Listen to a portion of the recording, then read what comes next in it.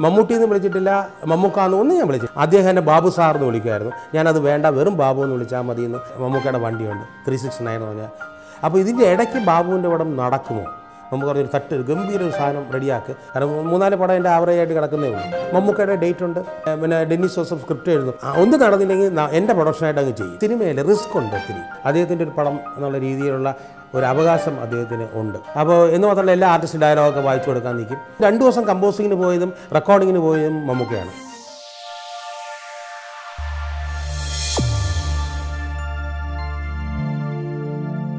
എന്താ പേര്? ഇരട്ടക്കണ്ണൻ കുട്ടപ്പൻ. ഏ? ഇരട്ടക്കണ്ണൻ. ഒന്ന് രണ്ട്. ശരിയാണല്ലോ രണ്ട് കണ്ണുണ്ട് ഇരട്ടക്കണ്ണൻ തന്നെ. എന്റെ കർത്താവെ എന്നെ നീ നല്ലവനാക്കാൻ സമ്മതിക്കുകയല്ലേ? നിന്റെ തിരുമിഷ്ട അതാണെങ്കിൽ അതങ്ങ് നിറവേറട്ടെ. സഖാവ് ലൂക്കോസിന്റെ അഭിപ്രായത്തോട് ഞാൻ യോജിക്കുന്നില്ല. സാധാരണ പാർട്ടി അധികാരത്തിൽ വന്നാൽ അതിന്റെ യുവജന വിഭാഗത്തെ നിഷ്ക്രിയരാക്കാറാണ് പതിവ്. ഞാൻ ആരുടെയും ഭാഗം ചേർന്നിട്ടില്ല. പാർട്ടി നയങ്ങളെ പറഞ്ഞുള്ളൂ. ശിവൻ ചേട്ടാ കൊഞ്ചു വെന്തു. വന്ന് തിന്നേച്ചു പോ.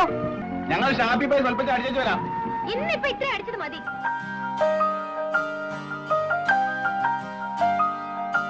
ഞാൻ മമ്മൂക്കയെ കാണുന്നത് ആയിരത്തി തൊള്ളായിരത്തി എൺപത്തൊന്ന് മെയ് മാസത്തിലാണ്. അന്ന് ശാസ്ത്ര പ്രൊഡക്ഷൻസ് ശ്രീ എസ് കുമാർ അദ്ദേഹം ഒരു പടത്തിന്റെ പ്രൊഡക്ഷൻ വർക്കിലാണ്. തമ്പി സാർ ശ്രീമാരൻ തമ്പി സാറാണ് പടത്തിന്റെ ഡയറക്ടർ. സ്ക്രിപ്റ്റും തമ്പിസാർ തന്നെയാണ്. ഭുവന ഒരു കേൾവിക്കുറി എന്ന് പറഞ്ഞ് തമിഴിൽ വന്ന ഒരു ചിത്രത്തിന്റെ റീമേക്കാണത്. തമിഴിൽ രജനീകാന്ത് ശിവകുമാർ അഭിനയിച്ചത് നമ്മളിവിടെ മലയാളത്തിൽ ആ ഒരു ഒരു ഒരു രീതിയിൽ മലയാളത്തിൽ വർക്ക് ചെയ്തുകൊണ്ടിരിക്കുകയാണ്. ആക്ച്വലി അത് ഒരു വർഷത്തിന് മുമ്പ് തന്നെ ആ പടത്തിന്റെ റീമേക്കിനെ പറ്റി അന്ന് ചിന്തിച്ചതാണ്. അന്ന് ജയൻ ചേട്ടൻ ജയൻ ജയൻ സുകുമാരൻ ആ രീതിയിലാണ് എന്റെ കാസ്റ്റിംഗ് പോയിക്കൊണ്ടിരുന്നത്. ജയൻ ചേട്ടന്റെ മരണത്തിന് ശേഷം ഒരു കാസ്റ്റിംഗ് ഒന്ന് ഷഫിൾ ചെയ്തു. അന്ന് സോമൻ ചേട്ടൻ സുഖേട്ടൻ ആ രീതിക്ക് വർക്ക് ചെയ്തുകൊണ്ടിരുന്നു. പക്ഷേ എന്തോ ഒന്ന് രണ്ട് കാര്യങ്ങൾ കൊണ്ട് അവരുടെ ഡേറ്റ് ഒത്തു വരാത്തത് കൊണ്ടോ കാര്യങ്ങൾ കൊണ്ടോ അതങ്ങോട്ട് വർക്കായില്ല എന്ന് മാത്രമല്ല അന്ന് ശാസ്ത്ര പ്രൊഡക്ഷൻസ് തന്നെ രണ്ട് മൂന്ന് പടങ്ങൾ ഒരു വർഷത്തിൽ പ്ലാൻ ചെയ്തുകൊണ്ടിരിക്കുന്ന സമയമായിരുന്നു. ഒത്തിരി കാത്തിരിക്കാനുള്ള ഒരു സമയവും ഉണ്ടായിരുന്നില്ല. അങ്ങനെ ഭുവന ഒരു കേൾവിക്കുറി ശരി ന്യൂ കമേഴ്സിനെ വെച്ച് ചെയ്യാം എന്നുള്ള രീതിയിൽ പ്ലാൻ ചെയ്തു. അപ്പോഴാണ് രതീഷ് തുഷാരത്തിൽ കൂടെ വരുന്നത്. തുഷാരത്തിൽ കൂടെ പുള്ളി രതീഷ് ഒരു സ്റ്റാറായി. അതിനു മുമ്പ് തന്നെ തമ്പി സാറിന്റെ ഇടിമുഴക്കം എന്ന ചിത്രത്തിൽ Ratheesh one of the hero ആയിട്ട് അഭിനയിച്ചിട്ടുണ്ട്. അല്ല അഞ്ച് ഹീറോസാണ് അത് ജയൻ ചേട്ടനുണ്ട് അതിനകത്ത്. ലാലു അലക്സ് രതീഷ്. അങ്ങനെ തമ്പി സാറും രതീഷായിട്ട് നല്ല അടുപ്പവുമുണ്ട്. അങ്ങനെ രതീഷിനെ ഹീറോ ആയിട്ട് കാസ്റ്റ് ചെയ്ത് ഉള്ള രീതിയിൽ പ്ലാൻ ചെയ്തു. ശിവകുമാറിന്റെ വേഷം രതീഷിന്. അങ്ങനെ നിൽക്കുമ്പോഴാണ് മമ്മൂക്കയുടെ പേര് അവിടെ റഫറൻസ് വരുന്നത്. ഇങ്ങനെ സ്ഫോടനം എന്നൊരു ചിത്രത്തിൽ അഭിനയിച്ചിട്ടുണ്ട്. ഒരു ന്യൂ കമ്മറാണ് നന്നായിട്ട് അഭിനയിക്കും. നല്ല ഫ്യൂച്ചറുണ്ട് എന്നൊക്കെ പറഞ്ഞ് നമുക്കൊരു റിപ്പോർട്ട് വരുന്നത് അപ്പോഴാണ്. ശരി അദ്ദേഹത്തിനെ വിളിക്കാമെന്ന് പറഞ്ഞ് അങ്ങനെ അദ്ദേഹത്തിന്റെ കോൺടാക്റ്റ് എടുക്കുകയും അദ്ദേഹം കൊച്ചിയിൽ നിന്ന് ട്രിവാൻഡ്രത്തിലേക്ക് അദ്ദേഹം അദ്ദേഹം വരുന്നു. തിരുവനന്തപുരത്ത് വന്നു പറഞ്ഞാൽ അദ്ദേഹത്തിന് നമ്മുടെ ശാസ്ത്ര പ്രൊഫഷൻസിന്റെ വണ്ടി കൊണ്ടുപോയി വിളിച്ച് നേരെ കൊണ്ടുവരുന്നത്. ഇവിടെ പി ടി പി നഗറിൽ ട്രിവാൻഡ്രത്ത് പി ടി പി നഗറിൽ ഒരു ഗസ്റ്റ് ഹൗസ് ഉണ്ട്. അവിടെയാണ് തമ്പിസാർ ഒരു മുറിയിൽ നിന്ന് സ്ക്രിപ്റ്റ് എഴുതുന്നു. ഇപ്പുറത്തെ മുറിയിൽ ഞാൻ അദ്ദേഹത്തിനെ സഹായിക്കാനും സ്റ്റാർട്ടിങ്ങും ബാക്കി കാസ്റ്റിങ്ങിന്റെ കാര്യത്തിനൊക്കെ ഞാൻ ഇപ്പുറത്തെ മുറിയിലിരിക്കുന്നു നേരെ കൊണ്ടുവന്നിട്ട് താഴെ അദ്ദേഹത്തിന് ഒരു റൂം കൊടുത്ത് ഫ്രഷ് ആവാൻ പറഞ്ഞിട്ട് നേരെ അദ്ദേഹം കയറി വരുന്നത് എന്റെ മുറിയിലേക്കാണ്. വാതിൽ തട്ടുന്നു. ഒരു മെയ് മാസമാണ് ഏതാണ്ട്. തട്ടി അകത്തേക്ക് വന്നു. അദ്ദേഹം പറഞ്ഞു ഞാൻ മമ്മൂട്ടി എന്ന് പറയണം. ഞാൻ പറഞ്ഞു ഞാൻ സുരേഷ് ബാബു എന്ന് പറഞ്ഞു. ഷെയ്ഖാന്റെ ഇരുന്നു അവിടെ ഇരുന്നു. അപ്പോൾ ഞാൻ പറഞ്ഞു ഏതാണ്ട് ഒരു ഇങ്ങനെയാണ് ഒരു പടത്തിന്റെ റീമേക്ക് കാര്യങ്ങളാണ് തമ്പി സാറ്. ശ്രീമാനൻ തമ്പി സാറ് ബാക്കി ഡീറ്റെയിൽസൊക്കെ പറഞ്ഞു തരും. അങ്ങനെ സംസാരിച്ചു. ഞാൻ നേരെ തമ്പി സാറിന്റെ ഒക്കെ ചെന്ന് ചോദിച്ചു സാർ ഇങ്ങനെ മമ്മൂട്ടി വന്നിട്ടുണ്ട് എന്ത് വേണം? വരാൻ പറയൂ എന്ന് പറഞ്ഞു. അങ്ങനെ തമ്പി സാർ പുറത്ത് മുറിയിൽ എഴുതിക്കൊണ്ടിരിക്കുകയാണ്. അങ്ങനെ അദ്ദേഹം ചെന്നു തമ്പി സാറിനെ പരിചയപ്പെടുത്തി അവിടെ ഇരുത്തി. അത് ഞാൻ പുറത്തിറങ്ങി എന്റെ റൂമിലിരിക്കുകയും ചെയ്തു. ഒരു അരമണിക്കൂർ കഴിയുമ്പോൾ മമ്മുക്ക എന്റെ മുറിയിലേക്ക് വന്നു. എന്റെ ഡീറ്റെയിൽ ഒക്കെ പറഞ്ഞു തന്നു എന്ന് പറഞ്ഞു. അപ്പോൾ ഞാൻ പറഞ്ഞു വൈ ഇന്ന് വൈകുന്നേരമോ നാളെ രാവിലെയോ ഇതിന്റെ സിസ്റ്റം അതായത് ഭുവന ഒരു കേൾവിക്കുറിയുടെ സിസ്റ്റം പടം നമുക്ക് കാണാം. എനിക്കത് പ്രൊജക്ടർ ഓട്ടിക്കാനും അറിയാം പ്രിന്റ് എന്റെ കസ്റ്റഡിയിലുമാണ്. കാരണം അന്ന് ശാസ്ത്ര പ്രൊഡക്ഷൻസ് റീമേക്ക് എടുക്കുകയാണെങ്കിൽ അപ്പോൾ തന്നെ ഒരു സിസ്റ്റമം പ്രിന്റ് വാങ്ങിക്കും. അത് വലിയ മലയാളി തൊട്ട് ഉള്ള ഒരു ഒരു ചടങ്ങാണത്. അപ്പോൾ അത് വലിയ മലയാളി സുബ്രഹ്മണ്യ മലയാളി. അദ്ദേഹത്തിന്റെ അസിസ്റ്റന്റായിട്ട് ഞാൻ വർക്ക് ചെയ്തിട്ടുണ്ട്. അവിടെ നിന്നാണ് എന്റെ ജീവിതം തുടങ്ങുന്നത്. അപ്പോൾ ഈ സിസ്റ്റമും പ്രിന്റും അതിന്റെ പ്രൊജക്ടർ ഓപ്പറേഷനൊക്കെ എനിക്കറിയാം. അന്ന് വൈകുന്നേരം തന്നെ കാണാം എന്നുള്ള രീതിയിൽ ഇരുന്നു. ഞങ്ങൾ ആ പി ടി ആ P T P Nagar guest ഹൗസിൽ തന്നെ ഒരു മുറിയിൽ ഇത് പ്രൊജക്റ്റ് ചെയ്ത് മമ്മൂക്ക ഫുൾ പിക്ചർ കാണുകയും രജനീകാന്തിന്റെ വേഷമാണെന്ന് പറയുകയും പുള്ളി പറഞ്ഞു നല്ല വേഷമാണല്ലോ ഇത്. ഞാൻ നല്ല വേഷം തന്നെയാണ്. യഥാർത്ഥത്തിൽ ഡബിൾ രണ്ട് ഹീറോസാണ് പക്ഷേ ഏറ്റവും കൂടുതൽ പെർഫോം ചെയ്യാനുള്ള വേഷം എന്ന് പറഞ്ഞത് ഡെഫിനറ്റായിട്ട് മമ്മൂക്ക ചെയ്ത വേഷത്തിന് തന്നെയാണ്. അങ്ങനെ ഞങ്ങൾ തമ്മിൽ അന്ന് ചർച്ച പോവുകയും കാര്യങ്ങൾ സംസാരിക്കുകയും ചെയ്തു. അന്ന് തൊട്ടുള്ള ഒരു ഫ്രണ്ട്ഷിപ്പ് കാര്യങ്ങളാണ്. അപ്പോൾ തമ്പി സാറ് സ്ക്രിപ്റ്റ് എഴുതി കൊണ്ടുവന്നു. ഞാൻ അദ്ദേഹത്തിന് വായിച്ചു കൊടുത്തു. ബാക്കിയുള്ള എല്ലാ ഡീറ്റെയിൽസും വായിച്ചു കൊടുത്തു. അദ്ദേഹത്തിന്റെ ഇതിനെ എക്സ്ട്രാ ഒരു കോപ്പിയും കൂടെ എഴുതിച്ചു. അന്ന് ഈ പറഞ്ഞ പോലെ കോപ്പി തന്നെ എഴുതണം. ഈ പറഞ്ഞ പോലെ ഇതില്ല. നമ്മുടെ പ്രിന്റ് ഔട്ട് കാര്യങ്ങൾ അല്ലെങ്കിൽ ഫോട്ടോസ്റ്റാറ്റ് ഒന്നുമില്ല. നമ്മൾ രണ്ട് കോപ്പി വേണമെങ്കിൽ രണ്ട് കാർബൺ വെച്ച് രണ്ട് കോപ്പി എടുക്കണം. മൂന്ന് വേണമെന്നുണ്ടെങ്കിൽ കാർബൺ കോപ്പി വെച്ച് മൂന്ന് എടുക്കണം. ഇദ്ദേഹം കൂടെ ഉള്ളതുകൊണ്ട് ഒരു ന്യൂ കമ്മർ സെറ്റപ്പ് ആയതുകൊണ്ട് ഞാൻ എക്സ്ട്രാ ഒരു കോപ്പിയും കൂടെ എടുപ്പിച്ചു. എപ്പോഴും ഒരു ഫുൾ ഫയൽ കോപ്പി എപ്പോഴും ഉണ്ടാവുക കാരണം ഒന്ന് ഡയറക്ടർക്ക് ഒന്ന് അസോസിയേറ്റ് ഡയറക്ടർക്ക് പിന്നെ ഒരു എക്സ്ട്രാ ഞാൻ എടുത്തു വെച്ചു. ഇദ്ദേഹത്തിന് കൊടുക്കാനായിട്ട് എടുത്തു വെച്ചു. അത് അതും സെപ്പറേറ്റ് വെച്ചു. ഞാൻ ബാക്കിയുള്ള സീൻസ് കൊടുത്തു. ഞാൻ പറഞ്ഞു ബാക്കി ഒരു ടെൻഷനും വേണ്ട. എല്ലാ പുറയിൽ നിന്നും ഞാൻ അതിനകത്തുള്ള പുറയിൽ സപ്പോർട്ട് ഉണ്ടാവും എന്ന് പറഞ്ഞു. അങ്ങനെ തുടങ്ങിയതാണ് ഞങ്ങൾ തമ്മിലുള്ള ബന്ധം. ആ ഫസ്റ്റ് സ്റ്റാർട്ടിങ് തൊട്ടേ ഞാൻ എന്തോ ഞാൻ അദ്ദേഹമായിട്ട് നല്ല ഞാൻ അങ്ങനെ പെട്ടെന്ന് കയറി ഞാൻ അങ്ങനെ ഇണങ്ങുന്ന ഒരാളല്ല. വർക്ക് അത് കഴിഞ്ഞ് വീട് എന്ന് പറഞ്ഞ് ഉള്ള ആളാണ്. പക്ഷേ ഇദ്ദേഹത്തിന്റെ ഒരു സ്വഭാവവും ഇദ്ദേഹത്തിന്റെ ഇങ്ങോട്ടുള്ള ഒരു പെരുമാറ്റവും എനിക്ക് ഭയങ്കര ഇഷ്ടമായി. എന്നെ എന്തോ അദ്ദേഹത്തിനും ഇഷ്ടമായി. അന്ന് തൊട്ട് തുടങ്ങുന്നതാണ് ഞങ്ങളുടെ ബന്ധം കാര്യങ്ങൾ. അത് കഴിഞ്ഞ് ഏതാണ്ട് ഒരു മാസവും കഴിഞ്ഞു അദ്ദേഹം തിരിച്ചു വന്നു ഒരു പ്രിപ്പറേഷനൊക്കെ ആയി. ആ സമയത്ത് ഞാൻ എന്റെ എന്റെ വീട്ടിൽ പോകുമ്പോൾ അദ്ദേഹം എന്റെ വീട്ടിൽ വരും. രാവിലെ തൊട്ട് ഉച്ച വരെ അവിടെ ഇരിക്കും. ഞങ്ങൾ ചിലപ്പോൾ തിരിച്ചു പോകും ചില എന്റെ ഒരു സ്കൂട്ടറുണ്ട്. അതിൽ ഞാനും മമ്മൂക്കയും കൂടെ അധികം തന്നെ ഓട്ടിക്കും. അധികം തന്നെ ഓട്ടിക്കുന്നത് ഭയങ്കര ഇഷ്ടമാണ്. സ്കൂട്ടറിൽ ഒരു ലാംബി സ്കൂട്ടറിൽ. അത് ഞങ്ങൾ ട്രിവാൻഡ്രം സിറ്റിയിലൊക്കെ പല സ്ഥലങ്ങളിലും പോവും. ആ ഒരു ഞങ്ങൾ ന്യൂ തിയേറ്ററിൽ പോകും ന്യൂ സിനിമ കാണാനായിട്ട് കയറിയിരിക്കും. പടം കാണുക അത് അദ്ദേഹത്തിന് അന്ന് ആർക്കും അറിഞ്ഞുകൂടാ. അന്ന് അങ്ങനെയുള്ള ബന്ധം തുടങ്ങി. ചില സമയങ്ങളിൽ ചിലപ്പോൾ പെട്ടെന്ന് കുമാർ സാർ വിളി നമ്മുടെ വീട്ടിൽ നിന്ന് ഊണ് കഴിക്കാമെന്ന് പറയും. അന്ന് ഷൂട്ടിംഗ് തുടങ്ങിയിട്ടില്ല. ആ സമയത്ത് ഞങ്ങൾ ഉച്ചയ്ക്ക് അവിടെ പോകും ആഹാരം കഴിക്കും തിരിച്ചു വരും. നമുക്ക് പറയും കേരള മോദി ഓഫീസിൽ നമുക്ക് പോകാം. എന്ന് പറഞ്ഞാൽ ഞാനും ഞങ്ങൾ കൂട്ടറിൽ ഞങ്ങളവിടെ പോകും തിരിച്ചു വരും. ഇങ്ങനെയുള്ള ഒരു ബന്ധം അന്ന് തുടങ്ങിയതാണ്. അന്ന് തൊട്ട് ഒരു ഒരു സൗഹൃദം തുടങ്ങിയതാണ്. പക്ഷെ അന്ന് അദ്ദേഹത്തിനെ ഞാൻ ഒന്നും വിളിച്ചിട്ടില്ല. കാരണം മമ്മൂട്ടിന്ന് വിളിച്ചിട്ടില്ല മമ്മൂക്കാന്ന് ഒന്നും ഞാൻ വിളിച്ചിട്ടില്ല. എന്തോ ഞാൻ അങ്ങനെ ഒരു ഗ്യാപ്പ് ഇട്ടു. എന്താണെന്ന് എനിക്കറിയില്ല. സാധാരണ ഞാനൊരു തീരുമാനം ആദ്യമേ എടുക്കും. ഒരു ഒരു പ്രായത്തിൽ മൂത്ത ഒരാളാണ് ചേട്ടാന്ന് അല്ലെങ്കിൽ പ്രായത്തിൽ കുറഞ്ഞ ഒരാളാണെങ്കിൽ പേര് അങ്ങനെയുള്ള ഒരു തീരുമാനം അന്നേ ഞാൻ എടുക്കും. പക്ഷേ എന്തോ ഇദ്ദേഹത്തിന് ഞാൻ ഒന്നും അന്ന് വിളിച്ചില്ല. മുന്നേറ്റം മുന്നേറ്റത്തിന്റെ ഷൂട്ടിംഗ് സമയത്തോ അത് കഴിഞ്ഞ് വരുന്ന സമയത്തോ അത് കഴിയുന്നത് വരെയോ ഞാൻ അദ്ദേഹത്തിനെ ഒന്നും വിളിച്ചിട്ടില്ല. കാര്യങ്ങൾ സംസാരിച്ച് പോകുന്നേ ഉള്ളൂ. മുന്നേറ്റത്തിന്റെ ഷൂട്ടിംഗ് ആരംഭിക്കുന്നു രതീഷ് വന്നു. മമ്മൂക്ക വന്നു. അതിനകത്ത് ഹീറോയിന്റെ കാര്യത്തിൽ അന്നൊരു എന്ത് വേണം എന്നൊരു കൺഫ്യൂഷൻ ഉണ്ടായിരുന്നു. അവസാനം മേനകയുടെ ഡേറ്റ് കിട്ടി. അന്ന് ഓപ്പോളൊക്കെ സിനിമ കഴിഞ്ഞ് നിൽക്കുന്ന സമയമായിരുന്നു മേനക. അങ്ങനെ മേനകയെ നായികയായിട്ട് ഫിക്സ് ചെയ്യുന്നു. സുമലതയെ ഈക്വൽ നായികയായിട്ട് ഇപ്പുറത്തും ഫൈനൽ ചെയ്തു. അങ്ങനെ ഞങ്ങളുടെ ഷൂട്ടിംഗ് അങ്ങ് സ്റ്റാർട്ട് ചെയ്തു. വളരെ വളരെ രസകരമായ സ്റ്റാർട്ടിങ് കാരണം പക്കാ ചാർട്ടിങ് ഉണ്ട്. ഒരു ഇരുപത്തഞ്ച് ദിവസമാണ് പ്ലാൻ ചെയ്തത്. ഇവിടെയുണ്ട് കന്യാകുമാരിയിൽ ഷൂട്ടുണ്ട് ആ രീതിക്ക് ഒന്ന് പ്ലാൻ ചെയ്തു. അന്നോട്ട് ഞാനും മമ്മൂക്കയായിട്ടുള്ള നല്ല ബന്ധം കാര്യങ്ങൾ പോവുകയാണ്. രതീഷും മമ്മൂക്കയായിട്ടും അവിടെ വെച്ചാണ് നല്ല അടുപ്പം കാര്യങ്ങൾ വന്നത്.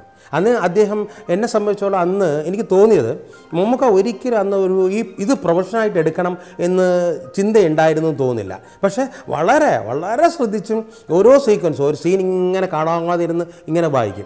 പറ്റുന്ന സൈഡിൽ നമ്മൾ അത്യാവശ്യമുള്ള പ്രോംപ്റ്റിങ് കാര്യങ്ങൾ പുറകിൽ നിന്ന് നമ്മൾ ചെയ്തു കൊടുക്കും. ആ ഒരു ഡെഡിക്കേഷൻ ഭയങ്കരമായിരുന്നു. രതീഷ് പക്ഷേ ന്യൂ കമറായിരുന്നു പക്ഷേ അദ്ദേഹത്തിന് അന്ന് മാർക്കറ്റായി അദ്ദേഹത്തിനെ കാണാൻ വേറെ പ്രൊഡ്യൂസേഴ്സ് സെറ്റപ്പ് വരുമായിരുന്നു. പക്ഷെ ഒരു സപ്പോർട്ട് അന്ന് രതീഷ് ഒരു ഒരു ഒരു സൈഡിൽ മമ്മൂക്കയെ സപ്പോർട്ട് ചെയ്തിട്ടുണ്ട് തുടക്ക സമയങ്ങളിൽ. അങ്ങനെയാണ് ഞങ്ങളുടെ ബന്ധങ്ങൾ പോയത്. അപ്പോൾ ഏതാണ്ട് ഷൂട്ടിംഗ് തീരുന്നതിന് മുമ്പേ എല്ലാവരും ഒരു ധാരണയായി. ഞാൻ മമ്മൂക്ക എന്ന് വിളിക്കാമെന്നും അദ്ദേഹം എന്നെ ബാബു സാർ എന്ന് വിളിക്കുമായിരുന്നു. ഞാനത് വേണ്ട വെറും ബാബു എന്ന് വിളിച്ചാൽ മതി എന്ന് പറയുകയും രതീഷും മമ്മൂക്കയായിട്ടൊരു ധാരണയാവുകയും അങ്ങനെ ടോട്ടലായിട്ട് ഒരു ധാരണയാകും. അടുത്ത ഇമ്മീഡിയറ്റ് ആയിട്ട് മമ്മൂക്കയും രതീഷിനെയും വെച്ച് തന്നെ ഒരു പ്രോജക്റ്റ് ഞങ്ങൾ ഞങ്ങളുടെ കമ്പനി ശാസ്ത്ര പ്രൊഡക്ഷൻസ് ചെയ്യാമെന്ന് തീരുമാനമാവുകയും ചെയ്തിട്ടാണ് അന്ന് പിരിഞ്ഞത്. അത് കഴിഞ്ഞ് ഡബ്ബിംഗ് സമയമായി. ഡബ്ബിംഗ് സമയമായപ്പോൾ അതിന്റെ തൊട്ട് മുമ്പ് മമ്മൂക്ക രണ്ട് മൂന്ന് പടങ്ങളിൽ അഭിനയിച്ചിട്ടുണ്ട്. മേള പിന്നെ സ്ഫോടനം എന്ന ചിത്രങ്ങളിലൊക്കെ. ഇതിൽ മേളയിൽ അദ്ദേഹത്തിന് ഡബ് ചെയ്ത് ശ്രീനിവാസനാണ്. മണി അന്തിക്കാട് എന്ന് പറഞ്ഞൊരു വലിയൊരു ഡബ്ബിംഗ് ആർട്ടിസ്റ്റാണ് മമ്മൂക്കയ്ക്ക് വേണ്ടിയിട്ട് സ്ഫോടനം എന്ന് പറഞ്ഞ ചിത്രത്തിൽ ഡബ് ചെയ്തത്. മണി അന്തിക്കാട് വലിയ ഒരു ഡബ്ബിംഗ് ആർട്ടിസ്റ്റാണ് എം എൻ നമ്പ്യാർ തുടങ്ങി വലിയ താരങ്ങൾക്ക് എനിക്ക് തോന്നുന്നത് ശിവാജി ഗണേശൻ സാറിനൊക്കെ അദ്ദേഹം ശബ്ദം കൊടുത്തിട്ടുണ്ട് മലയാളത്തിൽ അഭിനയിച്ച പടങ്ങൾക്ക്. അപ്പോൾ അങ്ങനത്തെ ഒരു ഒരു വലിയ ഡബ്ബിംഗ് ആർട്ടിസ്റ്റായിട്ടാണ് സ്ഫോടനം ചെയ്തത്. അപ്പോൾ ഇദ്ദേഹത്തിന്റെ ഒരു ആഗ്രഹം സ്വന്തം ശബ്ദം വരണം എന്നൊരു ആഗ്രഹം എനിക്കും ആഗ്രഹം ഇദ്ദേഹത്തിന്റെ ശബ്ദം തന്നെ വരണം. കാരണം അത്ര ഡെഡിക്കേഷനാണ് ഞാൻ അങ്ങനെ ഡയറക്ടറെയും ഡബ്ബിങ് അറ്റൻഡ് ചെയ്യേണ്ട ചുമതല എനിക്കാണ് കംപ്ലീറ്റ് പൂർണമായിട്ട്. തമ്പി സാർ വളരെ തിരക്കാണ്. അത് കഴിഞ്ഞ് അദ്ദേഹം രണ്ടോ മൂന്നോ പടങ്ങൾ ഇങ്ങനെ കമ്മിറ്റ് ചെയ്തിട്ടുണ്ട്. ഉടനെ തന്നെ ഈ മുന്നേറ്റം കഴിഞ്ഞ് എനിക്ക് തോന്നുന്നു അഞ്ച് ദിവസത്തിനകത്തോ പത്ത് ദിവസത്തിനകത്തോ അടുത്ത പടത്തിന്റെ ഷൂട്ടിംഗ് തുടങ്ങുകയാണ്. അപ്പോൾ തമ്പി സാറും വളരെ തിരക്കാണ്. അപ്പോൾ ഡബ്ബിങ്ങിന്റെ ചുമതല എനിക്കാണ്. അങ്ങനെ ഞാൻ ഡയറക്ടറെ ശ്രീമാൻ തമ്പി സാറിന്റെ പെർമിഷനും മെരിലാൻഡ് എസ് കുമാർ അദ്ദേഹത്തിന്റെ സുബ്രഹ്മണ്യ എസ് കുമാരസ്വാമി എന്നാണ് ഞാൻ വിളിക്കുന്നത്. മൊരാളുടെയും കുമാരസ്വാമികളുടെയും പെർമിഷൻ എടുത്തിട്ട് ഞാൻ ഡബ്ബിങ് ഞാൻ അറ്റൻഡ് ചെയ്യും. മമ്മക്കെ കൊണ്ട് നമ്മൾ ഡബ്ബ് ചെയ്യാൻ തീരുമാനിക്കുകയും ചെയ്തു. ഒരു പത്ത് പന്ത്രണ്ട് ദിവസമാണ് അതിന്റെ ഡബ്ബിങ് പ്ലാൻ ചെയ്ത് തിരുവനന്തപുരം തരങ്ങടി സ്റ്റുഡിയോയിലായിരുന്നു ഡബ്ബിങ് ഉണ്ടായിരുന്നത്. അന്ന് ലൂപ്പ് സിസ്റ്റമാണ് ഇങ്ങനെ ഒരു ഒരു ഷോട്ട് ഇങ്ങനെ ഓടി വരും. അതിങ്ങനെ ഓടിക്കൊണ്ടേയിരിക്കും. അതിങ്ങനെ പറഞ്ഞ് പറഞ്ഞ് പോകണം. ശരിയാവുന്നവരെ ഓടും. അത് കഴിഞ്ഞ് എന്റെ ശബ്ദം കേൾക്കണമെങ്കിൽ നമ്മൾ എടുത്ത ഡബ്ബിങ് ശബ്ദം കേൾക്കണമെങ്കിൽ കൺസോളിൽ വരണം. വെച്ചാൽ എഞ്ചിനീയർ മുറിയിൽ വന്നിട്ട് വീണ്ടും പ്ലേ ചെയ്യണം. എന്നാലേ ശബ്ദം കേൾക്കാൻ പറ്റത്തുള്ളൂ. അങ്ങനെ സിസ്റ്റമായിരുന്നു ആ സമയത്തുണ്ടായിരുന്നത്. മമ്മൂക്ക വളരെ സ്ട്രെയിൻ ചെയ്ത് തന്നെയാണ് അതിന്റെ ഡബ്ബിങ് അറ്റൻഡ് ചെയ്തത്. കാരണം ഒരുമിച്ച് ഞാൻ ചെയ്യിച്ചില്ല. കാരണം കുറച്ച് പോർഷൻ അന്ന് ചെയ്യും. പിറ്റേ ദിവസം അടുത്ത പോർഷൻ ചെയ്യും. അപ്പോൾ വേറെ ഡബ്ബിങ് ആർട്ടിസ്റ്റ് വരുമ്പോൾ അദ്ദേഹം അത് കണ്ടുകൊണ്ടിരിക്കും. അതേ ഇടയ്ക്ക് ഞാൻ അദ്ദേഹത്തിനെ പിടിച്ച് കൺസോൾഡ് ആ, ഇത് കേൾക്കാനൊക്കെ ആയിട്ട്. അങ്ങനെ ആ രീതിയിലാണ് അതിന്റെ ഡബ്ബിങ് പോയിക്കൊണ്ടിരുന്നത്. ഒരു പത്ത് പന്ത്രണ്ട് ദിവസം അദ്ദേഹം കൂടെ നിന്നു. അപ്പോഴും ഞങ്ങളുടെ ബന്ധങ്ങൾ വളരുകയായിരുന്നു. നല്ലൊരു സ്നേഹബന്ധം വളരുകയായിരുന്നു. ആ സമയത്ത് പല സ്ഥലങ്ങളിൽ നിന്ന് അദ്ദേഹത്തിന് ഫോൺ വിളിയും കാര്യങ്ങളും ഒക്കെ വന്നു. ഇടയ്ക്ക് ചെന്നൈയിൽ നിന്ന് ഐ വി ശശി അദ്ദേഹത്തിന്റെ ഒരു പടത്തിന് വേണ്ടിയിട്ട് അഹിംസ ആ പടത്തിന് വേണ്ടിയിട്ട് അദ്ദേഹത്തിന് ഒരു ഓഫർ വന്നു. അദ്ദേഹം ചെന്നൈക്ക് പോകാനുള്ള പ്ലാൻ ചെയ്തിരുന്നു. ഇതിനിടയ്ക്ക് പടയോട്ടത്തിന്റെ വർക്കിന് വേണ്ടിയിട്ട് നവോദയയിൽ നിന്ന് അവിടെ നിന്നൊരു ഓഫർ വന്നു. ഇത് ഇത് അവിടെ അദ്ദേഹം ഒരു സന്തോഷവാനാണ്. ടോട്ടൽ ഇവിടുത്തെ ഒരു വർക്ക് കഴിഞ്ഞപ്പോൾ തന്നെ അദ്ദേഹത്തിന് ഒരു ഭയങ്കര ഒരു ഐശ്വര്യം വീണതുപോലെയായി. എന്ന് മാത്രമല്ല മെയിൻലാൻഡിനെ സംബന്ധിച്ചോളം കുമാരസ്വാമികളെ സംബന്ധിച്ചോളം അദ്ദേഹത്തിന് ഭയങ്കര ഹോൾഡാണ്. എല്ലാ പത്രക്കാരായിട്ടും എല്ലാവരായിട്ടും നല്ല ബന്ധമാണ്. അതുകൊണ്ട് മമ്മൂക്കയ്ക്ക് മാക്സിമം എത്ര പബ്ലിസിറ്റി ആ സൈഡിൽ നിന്ന് കൊടുക്കാമോ അവിടെ നിന്ന് തമ്പിസാറും ശ്രീമാര തമ്പിസാറും എസ് കുമാർ അദ്ദേഹവും മാക്സിമം മമ്മൂക്കയെ സപ്പോർട്ട് ചെയ്തു അന്ന് ഇദ്ദേഹത്തിന്റെ വളർച്ചയിലും. നന്നായിട്ട് ബിഹേവിങ് നല്ല എല്ലാവരോടും നല്ല ഫ്രണ്ട്ലി ആയിട്ടുള്ള ബിഹേവിങ് കാരണം ആ ഒരു പറഞ്ഞ ഡ്രൈവ് അന്ന് ഒന്ന് ഡ്രൈവേഴ്സിനെ പോലും ഞാൻ ചേട്ടാന്ന് ചിലർ വിളിക്കും. മൂർത്ത ആൾക്കാരെ. അദ്ദേഹം അവരെ ചേട്ടാന്ന് തന്നെ വിളിക്കണം. ഞാൻ എന്ത് വിളിക്കുന്നു അത് തന്നെയാണ് മമ്മുക അവരെ വിളിക്കുന്നത്. ആ രീതിയിലൊരു ഒരു ഒരു അന്ന് തൊട്ടേ ഒരു എല്ലാവരോടും പെരുമാറാനായിട്ട് ഒരു ഒരു രീതി അദ്ദേഹത്തിന് അറിയാമായിരുന്നു. എന്ന് മാത്രമല്ല അന്ന് അദ്ദേഹം വളരെ സീരിയസ് ആയിട്ട് അതിന്റെ പ്രൊഫഷൻ എടുത്തിട്ടില്ലായിരുന്നു. കാരണം രണ്ട് മൂന്ന് വർക്ക് ചെയ്തിട്ട് ചിലപ്പോൾ തിരിച്ച് വക്കീൽ പണിയെങ്കിൽ വക്കീൽ പണി എന്നുള്ള ആ ഒരു രീതിക്കായിരുന്നു. ഒരിക്കലും ഇതൊരു മെയിൻ പ്രൊഫഷൻ ആക്കണമെന്ന് അല്ലെങ്കിൽ ആകുമെന്നോ അദ്ദേഹത്തിന് അത്ര പിടുത്തമില്ലായിരുന്നു അദ്ദേഹം അതിന് അത്രയും താല്പര്യപ്പെട്ടു എന്ന് തന്നെ എനിക്ക് സംശയവുമാണ്. എന്തായാലും മുന്നേറ്റത്തിന്റെ ഡബ്ബിങ് കഴിഞ്ഞു. ആ സമയത്ത് അദ്ദേഹം ചെന്നൈ പോകണം ആ സമയത്ത് ഞാൻ എസ്. കുമാർ അദ്ദേഹത്തിനോട് ചെന്ന് പറഞ്ഞു ഇങ്ങനെ നാളെ ഇങ്ങനെ മമ്മൂക്ക അപ്പം മമ്മൂക്ക എന്ന് വിളിച്ചു തുടങ്ങി. മമ്മൂക്കയ്ക്ക് ഇങ്ങനെ എറണാകുളത്ത് ചെന്നൈക്ക് പോകണം. ഒരു പടത്തിന്റെ ഒരു ഓഫറുണ്ട് ഉടനെ തന്നെ അദ്ദേഹം പറഞ്ഞു നമുക്ക് ഫ്ലൈറ്റ് ടിക്കറ്റ് എടുത്ത് കൊടുക്കാം അല്ലേ ബാബു എന്ന് പറഞ്ഞു. ഞാൻ പറഞ്ഞു അത് പറയാനായിട്ടാണ് ഞാൻ വന്നതെന്ന് പറഞ്ഞു. അങ്ങനെ ഫ്ലൈറ്റ് ടിക്കറ്റ് എടുത്ത് കൊണ്ട് കൊടുത്തതിന് ശേഷമാണ് മമ്മൂക്ക അറിയണത് പിറ്റേ ദിവസം ഫ്ലൈറ്റിലാണ് അദ്ദേഹം ചെന്നൈക്ക് പോകുന്നതെന്നുള്ളത് അദ്ദേഹത്തിന്റെ ആദ്യത്തെ ഫ്ലൈറ്റ് യാത്ര അതാണ് അതാണ്. അപ്പോൾ പുള്ളി അങ്ങനെ സന്തോഷമായി. നെക്സ്റ്റ് ഡേ മെല്ലാൻഡിന്റെ തന്നെ മെരിലാൻഡ് നമ്മുടെ സാസ പ്രൊഡക്ഷൻസ് എസ് കുമാർ അദ്ദേഹത്തിന്റെ തന്നെ കാറ് വന്നു. ഞാൻ അദ്ദേഹത്തിന്റെ കൂടെ പോയി. ഞാനും മമ്മൂക്കയും കൂടെ എയർപോർട്ടിൽ പോയി. അന്ന് ഫ്ലൈറ്റ് ഒരു വൺ അവർ ലേറ്റായിരുന്നു അന്ന് എയർപോർട്ടിനകത്ത് വരെ നമുക്ക് കയറാം. അത് കൂടെ ഇരുന്നു ഞങ്ങൾ അവിടെ കോഫിയൊക്കെ കുടിച്ച് അദ്ദേഹത്തിന് ടാറ്റയും കൊടുത്ത് ഞാൻ അദ്ദേഹത്തിനെ വിടുന്നു. രണ്ട് മൂന്ന് ദിവസം കഴിഞ്ഞ് അദ്ദേഹം തിരിച്ച് ട്രിവാൻഡത്തേക്ക് വരുന്നു കുറച്ച് ബാലൻസ് ബാക്കിയുള്ള കാര്യങ്ങൾ തീർക്കണമായിരുന്നു. ഒരു പാട്ടിന്റെ ബാക്കി ഉണ്ടായിരുന്നു. അതിന്റെ ഷൂട്ടിംഗ് കണക്കാക്കിയിട്ട് വന്നു. അദ്ദേഹം ജലജയും ജലജയായിരുന്നു അദ്ദേഹത്തിന്റെ പേര് മുന്നേറ്റത്തിൽ. ഉണ്ണിമേനോന്റെ ആദ്യമായിട്ട് ഇൻഡിപെൻഡന്റായിട്ട് അതുവരെ ഉണ്ണിമേനോൻ ട്രാക്ക് പാടിക്കൊണ്ടിരിക്കുകയായിരുന്നു. ആ ഒരു ട്രാക്ക് പാടിയ പാട്ട് തന്നെ ഞങ്ങൾക്ക് ഇഷ്ടപ്പെടുകയും തമ്പി സാർ അതിനെ ഫൈനലി ഫിക്സ് ചെയ്യും. അദ്ദേഹത്തിന്റെ ഒന്നുകൊണ്ട് പാ ഒന്നും കൂടെ അദ്ദേഹത്തിനെ കൊണ്ട് പാടിക്കുകയും ചെയ്തു. അതാണ് വളകിലുക്കം എന്ന പാട്ടാണ്. ഉണ്ണിമേനോന്റെ എന്റെ അറിവിൽ ഇൻഡിപെൻഡന്റ് ആയിട്ടുള്ള ആദ്യത്തെ പാട്ട്. അത് പാടി അഭിനയിച്ചിരിക്കുന്ന മമ്മൂക്കയും ജലജയുമാണ്. വളക്കിലുക്കം ഒരു വളക്കിലുക്കം പൂമണി വാതിലിലൊരു തേന്മണം. അങ്ങനെ മമ്മൂക്ക അത് ആന്റെ ഷൂട്ടിംഗ് കഴിഞ്ഞ് നമ്മുടെ ആ പാട്ടിന്റെ ഷൂട്ടിംഗ് കഴിഞ്ഞപ്പോൾ ആണ് ഇവിടുന്ന് നേരെ പോകേണ്ടത് പടയോട്ടത്തിന്റെ സെറ്റിലേക്കാണ്. അപ്പോൾ അദ്ദേഹം ഇവിടുന്ന് നേരെ പാലക്കാട് വരെ പോകണം അപ്പോൾ എറണാകുളം വീട്ടിൽ പോയിട്ട് അവിടെ നിന്ന് പാലക്കാട് പോകാനായിട്ട് പ്ലാൻ ചെയ്തു. എന്നോട് പറഞ്ഞു ബാബു കൂടെ പറ്റുമെങ്കിൽ കൂടെ വാ എന്ന് പറഞ്ഞു. ഇവിടുത്തെ ഇവിടെ ശാസ്ത്ര പ്രൊഡക്ഷൻസിന്റെ കാറാണ്. കുഴപ്പമില്ല. കാരണം അത് നമ്മുടെ സ്വന്തം കമ്പനിയാണ്. കുഴപ്പമില്ല. നെക്സ്റ്റ് ഡേ ഞാനും മമ്മക്കയും കൂടെ ആ കാറിൽ പോയി അദ്ദേഹത്തിന്റെ വൈഫ് ഹൗസ് എറണാകുളത്ത് അവിടെ പോയി. അവിടെ നിന്ന് ആഹാരമൊക്കെ കഴിച്ച് അവിടെ നിന്ന് അന്ന് തന്നെ ഒരു ഒന്ന് രണ്ട് മണിക്കൂർ കഴിഞ്ഞ് ഞങ്ങൾ നേരെ പാലക്കാടേക്ക് പോയി. പടയോട്ടത്തിന്റെ സെറ്റ് ഗ്രാൻഡ് സെറ്റ് ഞാൻ അവിടെ കൂടുതൽ കയറാൻ നിന്നില്ല. ഞാൻ മമ്മൂക്കയെ റൂമിലാക്കി അവിടെ നിന്ന് മലമ്പുഴയിലായിരുന്നു അവർക്ക് താമസം ഒരുക്കിയിരുന്നത്. അവിടെ നിന്ന് ഞാൻ നേരെ തിരിച്ച് നേരെ ട്രിവാൻഡത്തിലേക്ക് വരുന്നു. അതാണ് മുന്നേറ്റം എന്ന പടത്തിന്റെ ഏതാണ്ട് ട്രിവാൻഡത്തുള്ള ഞങ്ങളുടെ ബന്ധത്തിന്റെ ഏതാണ്ടുള്ള എൻഡ് ഇത് കഴിഞ്ഞ് ഞാൻ ചെന്നൈക്ക് പോകുന്നു. ഫൈനൽ വർക്ക് എഡിറ്റിംഗ് നടക്കുന്നു. ഒരെണ്ണം മമ്മൂക്ക അവിടെ ശശിയേട്ടന്റെ ഒരു പടത്തിന്റെ വർക്ക് സംബന്ധമായിട്ട് അവിടെ ഉണ്ട്. ഞങ്ങൾ തമ്മിൽ പരസ്പരം കാണുന്നു. അദ്ദേഹത്തിന്റെ ഞാൻ editing Narayana sir K Narayanan വലിയ എഡിറ്ററാണ് അദ്ദേഹമാണ് മുന്നേറ്റത്തിന്റെ എഡിറ്റർ അദ്ദേഹത്തിന്റെ മുറിയിലേക്ക് വിളിക്കുന്നു. അദ്ദേഹം എ വി എമ്മിൽ വരുന്നു. അദ്ദേഹത്തിന് കുറച്ച് സീൻസ് പാട്ടൊക്കെ ഇട്ട് കാണിച്ചു കൊടുക്കുന്നു. ഞാൻ അവിടെ നിന്ന് തന്നെ മമ്മൂക്കയുടെ ക്ലോസ് ഓഫ് ഫ്രെയിംസ് ഇപ്പോഴും എനിക്ക് ഓർമ്മയുണ്ട്. ടേബിളിൽ നിന്ന് കട്ട് വെച്ചിട്ട് ജി ഷോട്ട് എന്ന് പറയും. കാരണം നമുക്ക് വേണ്ടാത്ത ടേക്ക് ടു എടുക്കുന്ന ഷോട്ട്സ് ഉണ്ട്. അതിന്റെ രണ്ട് മൂന്ന് കുറച്ച് ക്ലോസ് അപ്സ് ഞാൻ കട്ട് ചെയ്ത് മമ്മൂക്കയുടെ ഒരു കവറിലിട്ട് ഒരു അഞ്ചാറ് ക്ലോസ് അപ്പ് ഫിലിമും അദ്ദേഹത്തിന്റെ കൈ കൊടുത്തു. ആദ്യം പറഞ്ഞിങ്ങനെ അന്ന് ബാലാജി സാറിന്റെ സ്റ്റുഡിയോയിൽ ഈ ശശിയേട്ടന്റെ ഒരു പടത്തിന്റെ ഡബ്ബിങ് നടക്കുകയാണ്. അവിടെ വരുമെന്ന് ചോദിച്ചു. വൈകുന്നേരം ഞാൻ വെറുതെ പോയി ഒന്ന് രണ്ട് മണിക്കൂർ അവിടെ ഇരുന്നു. കാരണം ബാലാജി സാറായിട്ട് ഞാൻ അടുപ്പമുണ്ട്.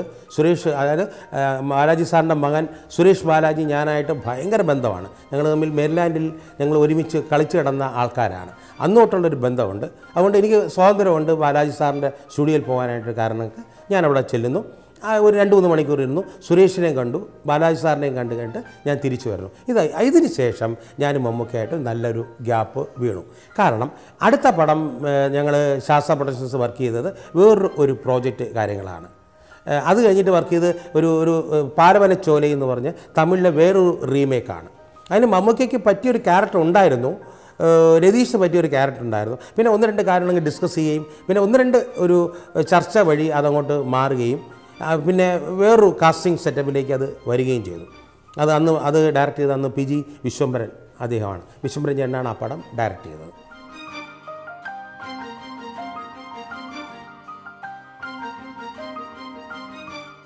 ആയിരത്തി തൊള്ളായിരത്തി എൺപത്തൊന്ന് എന്തുകൊണ്ടും മമ്മൂക്കയ്ക്ക് ഒരു ഭാഗ്യവർഷമായിരുന്നു.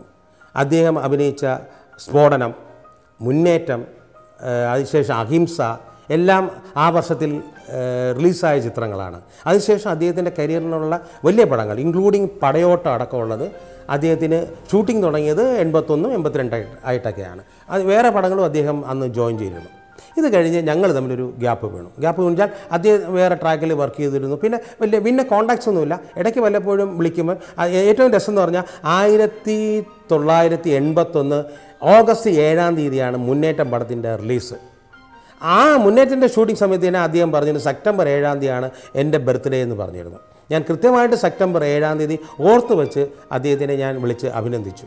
സെപ്റ്റ ആയിരത്തി തൊള്ളായിരത്തി എൺപത്തൊന്നിൽ അന്ന് സെപ്റ്റംബർ ഏഴാം തീയതി അഭിനന്ദിച്ചത് ഇപ്പോഴും എല്ലാ സെപ്റ്റംബർ ഏഴാം തീയതി അദ്ദേഹത്തിനെ ഞാൻ ഫോണിൽ വിശ്വസ് പറയാറുണ്ട് പറ്റുമെങ്കിൽ നേരിട്ട് അല്ലെങ്കിൽ ഫോണിൽ കൂടി. ഇല്ലെങ്കിൽ ആൾ വശം. ഈ ഒരു അദ്ദേഹത്തിനെ കോൺടാക്റ്റ് ചെയ്യാൻ പറ്റാത്തതാണെങ്കിൽ ഒരു ബൊക്കെയോ കാര്യങ്ങളോ ആൻഡോ ജോസഫ് അടക്കം അദ്ദേഹം ഞാൻ വിളിച്ച് പറഞ്ഞിട്ട് അദ്ദേഹത്തിന് കൊണ്ട് ഒരു ബൊക്കെയോ കാര്യങ്ങളോ കൊടുത്തിട്ടുണ്ട്. ഒരിക്കൽ രവി ഉള്ളത്തോൾ. കാരണം എനിക്ക് കോൺടാക്ട് ചെയ്യാൻ പറ്റാത്തൊരു സ്ഥലമായിരുന്നു രവി ഉള്ളത്തോൾ കൊണ്ട് കൊടുത്തിട്ടുണ്ട്. അങ്ങനെ ഒരു ബന്ധം ഇപ്പോഴും തുടരുന്നു. ഇത് കഴിഞ്ഞ് ഞങ്ങൾ തമ്മിലൊരു ഒരു ഗ്യാപ്പ് വീണു. അതിനുശേഷം പി ജി വിശ്വംഭരൻ അങ്ങനെ വിശ്വംഭരൻ ചേട്ടന്റെ ഒരു ചിത്രം സന്ധ്യയ്ക്ക് വിരിഞ്ഞു പോകും. സെഞ്ചുറിയാണ് അതിന്റെ പ്രൊഡക്ഷൻ കാര്യങ്ങൾ തോപ്പിൽ ബാസി സാർ അതിന്റെ സ്ക്രിപ്റ്റ് അപ്പോൾ അതിന്റെ ഒരു ഡിസ്കഷൻ കാര്യങ്ങളും ഞാൻ അവിടെ ചെന്നിരുന്നു അപ്പോൾ വിശ്വംബരൻ ചേട്ടൻ പറഞ്ഞു ഇത് ഹീറോ ആയിട്ട് അഭിനയിക്കുന്നത് മമ്മൂട്ടിയാണ്. ഇപ്പോഴത്തെ ക്യാരക്ടർ അഭിനയിക്കുന്നത് മോഹൻലാലാണ്. ഇപ്പോഴത്തെ സീമ അഭിനയിക്കുന്നു എന്ന് പറഞ്ഞാൽ എന്റെ കാസ്റ്റിംഗ് ഒക്കെ പറഞ്ഞു ബാക്കി സ്ക്രിപ്റ്റ് എന്റെ അടുത്ത് വന്നു ഞാൻ ചാർട്ട് ചെയ്ത് വെച്ചു.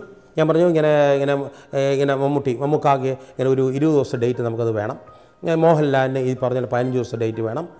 സീമ സീമയ്ക്ക് കുറച്ച് കൂടുതൽ റോ വേ വേഷമുണ്ട് അതിനകത്ത്. സീമ ഒരു ഇരുപത്തിരണ്ട് ദിവസം എല്ലാം കൂടെ ഒരു ഇരുപത്തിനാല് ദിവസം ഇരുപത്തഞ്ച് ദിവസത്തിനകത്ത് തീരുന്ന രീതിയിൽ വർക്ക് പ്ലാൻ ചെയ്തു. ഇളയരാജ മ്യൂസിക് എല്ലാം സെറ്റ് ചെയ്തു. അങ്ങനെ കംപ്ലീറ്റ് സ്ക്രിപ്റ്റ് കാര്യങ്ങളൊക്കെ തീർത്തു. എല്ലാം വെച്ചു. കംപ്ലീറ്റ് ചാർട്ടിംഗ് ആയി ഫസ്റ്റ് ഡേ ഷൂട്ടിംഗ് സുമാരി ചേച്ചിയുടെ ഷോട്ടാണ് ഫസ്റ്റ് എടുക്കേണ്ടത്. അപ്പോൾ എന്റെയൊക്കെ വിശ്വംഭരൻ ചേട്ടൻ പറഞ്ഞു ഇതുപോലെ ഈ ഇതാ മമ്മൂട്ടി വരും. സൂക്ഷിച്ച് ഹാൻഡിൽ ചെയ്യേണ്ട ഒരാളാണ്. നല്ല മനുഷ്യനാണ് പക്ഷേ നമ്മൾ ഭയങ്കര കെയർ ആയിട്ടിരിക്കണം. അപ്കമിങ് ഹീറോയാണ് ഒത്തിരി വർക്കുള്ള ആളാണ്. ഞാൻ ബാബുവിന് പരിചയപ്പെടുത്തി തരാം എന്ന് വിശ്വംഭരൻ ചേട്ടൻ പറഞ്ഞു. ഞാൻ പറഞ്ഞു ഓക്കെ ഞാനൊന്നും പറയാൻ പോയില്ല. വിശ്വ സുമാരി ചേച്ചിയുടെ ഷോട്ട് എടുത്തു. ഇത് കഴിഞ്ഞിട്ട് ഞാൻ നേരെ കാപ്പ് കുടിക്കാനാണ്. കാരണം അന്ന് പത്തര മണിയായി രാവിലെ. കാരണം ഞാൻ ആറ് മണിക്ക് അന്ന് ഫസ്റ്റ് ഡേ തുടങ്ങണമുണ്ട് ആറ് മണിക്ക് സെറ്റിൽ വന്നിട്ട് എല്ലാ കാര്യങ്ങളും അറേഞ്ച് ചെയ്യണമായിരുന്നു. കാരണം ഒരു പത്ത് ദിവസം ആ വീട്ടിൽ തന്നെയാണ് ഷൂട്ടിംഗ് അത് മമ്മൂക്കയുടെ വീടായിട്ട് ഷൂട്ട് ചെയ്യുന്ന ഒരു വീടാണ്. അതിന് ഏതാണ്ട് ഒരു പത്ത് ദിവസത്തെ വർക്ക് ഒരു ഇൻക്ലൂഡിങ് ഒരു പാട്ടടക്കമുള്ള സീക്വൻസ് അവിടെയുണ്ട്.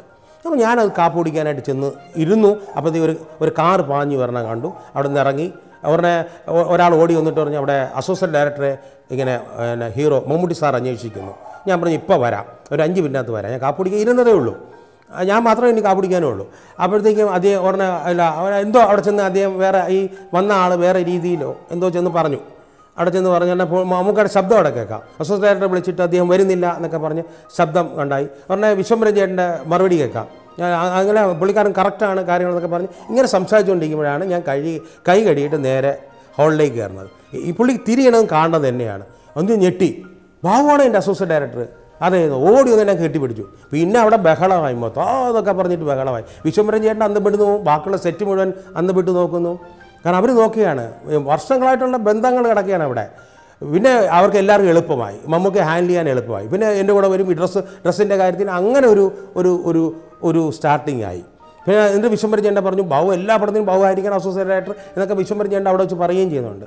എന്തായാലും അത് കഴിഞ്ഞ് സന്ധ്യയ്ക്ക് ഉരിഞ്ഞു പിന്നിലാവ് പിന്നെ കൺ ഹിമവാഹിനി ഒന്ന് ഒന്നാണ് നമ്മൾ തുടങ്ങി ഒന്ന് ചിരിക്കു തുടങ്ങി. കണ്ടമാനം ചിത്രങ്ങൾ ഞാൻ അസോസിയേറ്റ് ഡയറക്ടറായിട്ട് വിശ്വംഭരൻ ചേട്ടനോട് വർക്ക് ചെയ്യും. അമ്മൊക്കെയായിട്ടുള്ള ബന്ധങ്ങൾ കൂടുതലാകുകയും എനിക്കൊരു യൂണിറ്റ് വർക്ക് ചെയ്യാനായിട്ട് വിശ്വംഭരൻ തന്നിട്ടുണ്ട് എട്ടും പത്ത് ദിവസം. അത് മമ്മൂക്ക മോഹൻലാൽ മധുസാർ അടക്കമുള്ള. അതിന് മമ്മുക്ക കൂടെ സപ്പോർട്ട് ചെയ്ത് നിൽക്കും. അങ്ങനെയാണ് തിരക്കിൽ അല്പം സമയം കണ്ടമാനം ചിത്രങ്ങൾ ഞാൻ അസോസിയേറ്റ് ആയിട്ട് വർക്ക് ചെയ്ത ചിത്രങ്ങൾ മമ്മൂക്ക ഹീറോ ആയിട്ട് അഭിനയിച്ചിട്ടുണ്ട്. അങ്ങനെ നല്ല ബന്ധം. എന്ത് കാര്യമുണ്ടെങ്കിലും അങ്ങോട്ട് പറയും ബന്ധം. അവിടെ നിന്നാണ് ഞങ്ങളുടെ ഒരു കൂടുതൽ ബന്ധം ശക്തിപ്പെടുന്നത്. ആ സമയത്ത് എനിക്കൊരു പടത്തിന്റെ ഓഫർ വരുന്നു. ഒന്ന് രണ്ടെണ്ണം വന്നു. ഒന്ന് രണ്ടെണ്ണം തെന്നിപ്പോയി. ഇത് കഴിഞ്ഞിട്ട് ഒരു പക്ക പ്രോജക്റ്റ് വന്നപ്പോൾ ഞാൻ മമ്മൂക്കയുടെ പറഞ്ഞു മമ്മൂക്ക ഇങ്ങനെ ഒരു എനിക്കൊരു പ്രോജക്റ്റ് വന്നിട്ടുണ്ട്. ഏ, ബാബു ചെയ് ബാബു ചെയ് എന്ന് പറഞ്ഞു. ഞാൻ ഒരു വർഷം കൂടെ കഴിഞ്ഞ് വേണ്ട നമുക്കൊന്ന് ചെയ്ത് നോക്കാം എന്ന് പറഞ്ഞാൽ മമ്മൂക്കയാണ് എനിക്ക് യഥാർത്ഥത്തിൽ ഫസ്റ്റ് പടത്തിൽ ചെയ്യാനായിട്ട് ഒരു ധൈര്യം എനിക്ക് തന്നത്. ധൈര്യം കുറവുണ്ടായിട്ടല്ല എന്നാലും ഒരു ഫുൾ സപ്പോർട്ട് അപ്പോൾ ഞാനൊരു സബ്ജക്റ്റ് റെഡിയാക്കി വയ്ക്കുകയും പക്ഷേ അന്ന് ഒന്ന് രണ്ട് കാര്യങ്ങൾ കൊണ്ട് ആ സബ്ജക്റ്റ് എനിക്ക് വിശ്വംബരം ചെയ്യേണ്ടി കൊടുക്കേണ്ടി വന്നു. കാരണം അദ്ദേഹത്തിന് പെട്ടെന്ന് നിന്ന് ഇപ്പോൾ സബ്ജക്റ്റ് ഇല്ലാതെ ഷൂട്ടിംഗ് മുടങ്ങും എന്നുള്ളൊരു അവസ്ഥ വന്നപ്പോൾ എന്റെ സബ്ജക്റ്റ് ഞാൻ അദ്ദേഹത്തിന് കൊടുത്തു. എന്നിട്ട് ഞാൻ വേറൊരു ലവ് സ്റ്റോറി കാര്യങ്ങളിലേക്ക് സൈഡിലേക്ക് മാറി. അത് ശങ്കറായിരുന്നു ശങ്കറായിരിക്കും അതിന്റെ ഹീറോ ആയിട്ട് വരുന്നത്. മമ്മൂക്ക ഭയങ്കര supporting artist Mohanlal supporting artist എന്നുള്ള രീതിയിൽ പ്ലാൻ ചെയ്തു. മമ്മൂക്ക പറഞ്ഞു രണ്ടോ അഞ്ചോ ദിവസം എത്ര ദിവസം വേണ്ടി ഞാൻ തരാം? വർക്ക് ചെയ്യും എന്ന് പറഞ്ഞു. അങ്ങനെയാണ് മമ്മൂക്കയുടെ ഒരു സപ്പോർട്ടും കൂടെ വച്ചിട്ടാണ് ഞാൻ എന്റെ ഫസ്റ്റ് പടം സ്റ്റാർട്ട് ചെയ്തത്. എന്നത്തല്ല മോഹൻലാൽ ഒരു മൂന്ന് നാല് ദിവസം ഡേറ്റ് ആയിട്ട് വേണം. ഞാനും ലാലായിട്ട് നല്ല ഫ്രണ്ടാണ് നല്ല അടുപ്പമാണ്. അസിസ്റ്റന്റ് ആയിരുന്ന സമയത്തോട്ട് തൊട്ട് മോഹൻലാൽ ഞാനായിട്ട് നല്ല അടുപ്പമാണ്. മോഹൻലാൽ എനിക്കൊന്ന് കോപ്പിയൊക്കെ എടുത്ത് തരും. സ്ക്രിപ്റ്റിന്റെ കോപ്പിയൊക്കെ എടുത്ത് തരും. മോഹൻലാലിന്റെ നല്ല ഹാൻഡ് റൈറ്റിംഗ് ആണ്. അതുപോലെ തന്നെ മമ്മൂക്കയുടെ നല്ല ഹാൻഡ് റൈറ്റിംഗ് ആണ്. നല്ല ഉരുട്ടി ഇങ്ങനെ എഴുതും. അപ്പോൾ ആ അതുകൊണ്ട് എന്റെ രണ്ടൊരു അക്ഷരം എനിക്കറിയാം. ആ രീതിക്ക് പോയിക്കൊണ്ടിരിക്കുന്ന സമയമാണ്. മോഹൻലാലിനെ വിളിച്ചിട്ട് ഒരു മൂന്ന് ദിവസം വേണമെന്ന് പറഞ്ഞത് മമ്മൂക്കയാണ്. അങ്ങനെയാണ് എന്റെ ഇതാ എന്ന് പോൽ പടത്തിന്റെ ആരംഭം തുടങ്ങുന്നത്. അപ്പോൾ കൃത്യമായിട്ട് അദ്ദേഹം വന്നു വളരെ സന്തോഷത്തോടെ വർക്ക് ചെയ്തു. ഇഷ്ടമുള്ളത് തന്നാൽ മതി എന്ന് പറഞ്ഞു. ആ രീതിക്കാണ് ആ പടത്തിന്റെ ഫസ്റ്റ് റെമുനറേഷൻ അടക്കം കൊടുത്തത്. പടം അത്യാവശ്യം കൊമേഴ്സ്യലി ഓടിയൊരു പടമാണ്.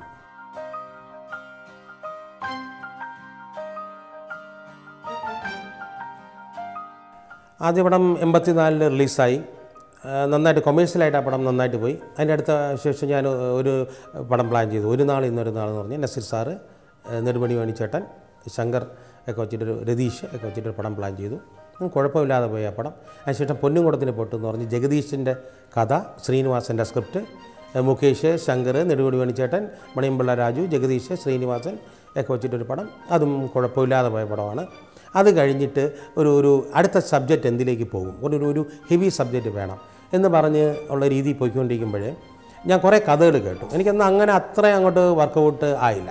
ഇനി മമ്മൂക്കെ വെച്ചും പടഞ്ഞാണ് കാരണം വെച്ചാൽ കുറേ ഞങ്ങൾ തമ്മിൽ പിന്നെ കുറേ ഗ്യാപ്പായി എന്നെ എപ്പോൾ വേണമെങ്കിൽ നമുക്ക് ഡേറ്റ് തരുന്ന ഒരു ഹീറോ ഉണ്ടായിട്ടും എനിക്കൊരു പടം മൂവ് ചെയ്യാൻ പറ്റാത്ത ഒരു രീതിയിലായി. ഞാൻ അങ്ങനെ ഇരിക്കുമ്പോഴാണ് എന്റെ പാപ്പനും കൂടി ലക്ഷ്മണൻ ചേട്ടൻ വന്നൊരു സബ്ജക്റ്റ് പറയണത്.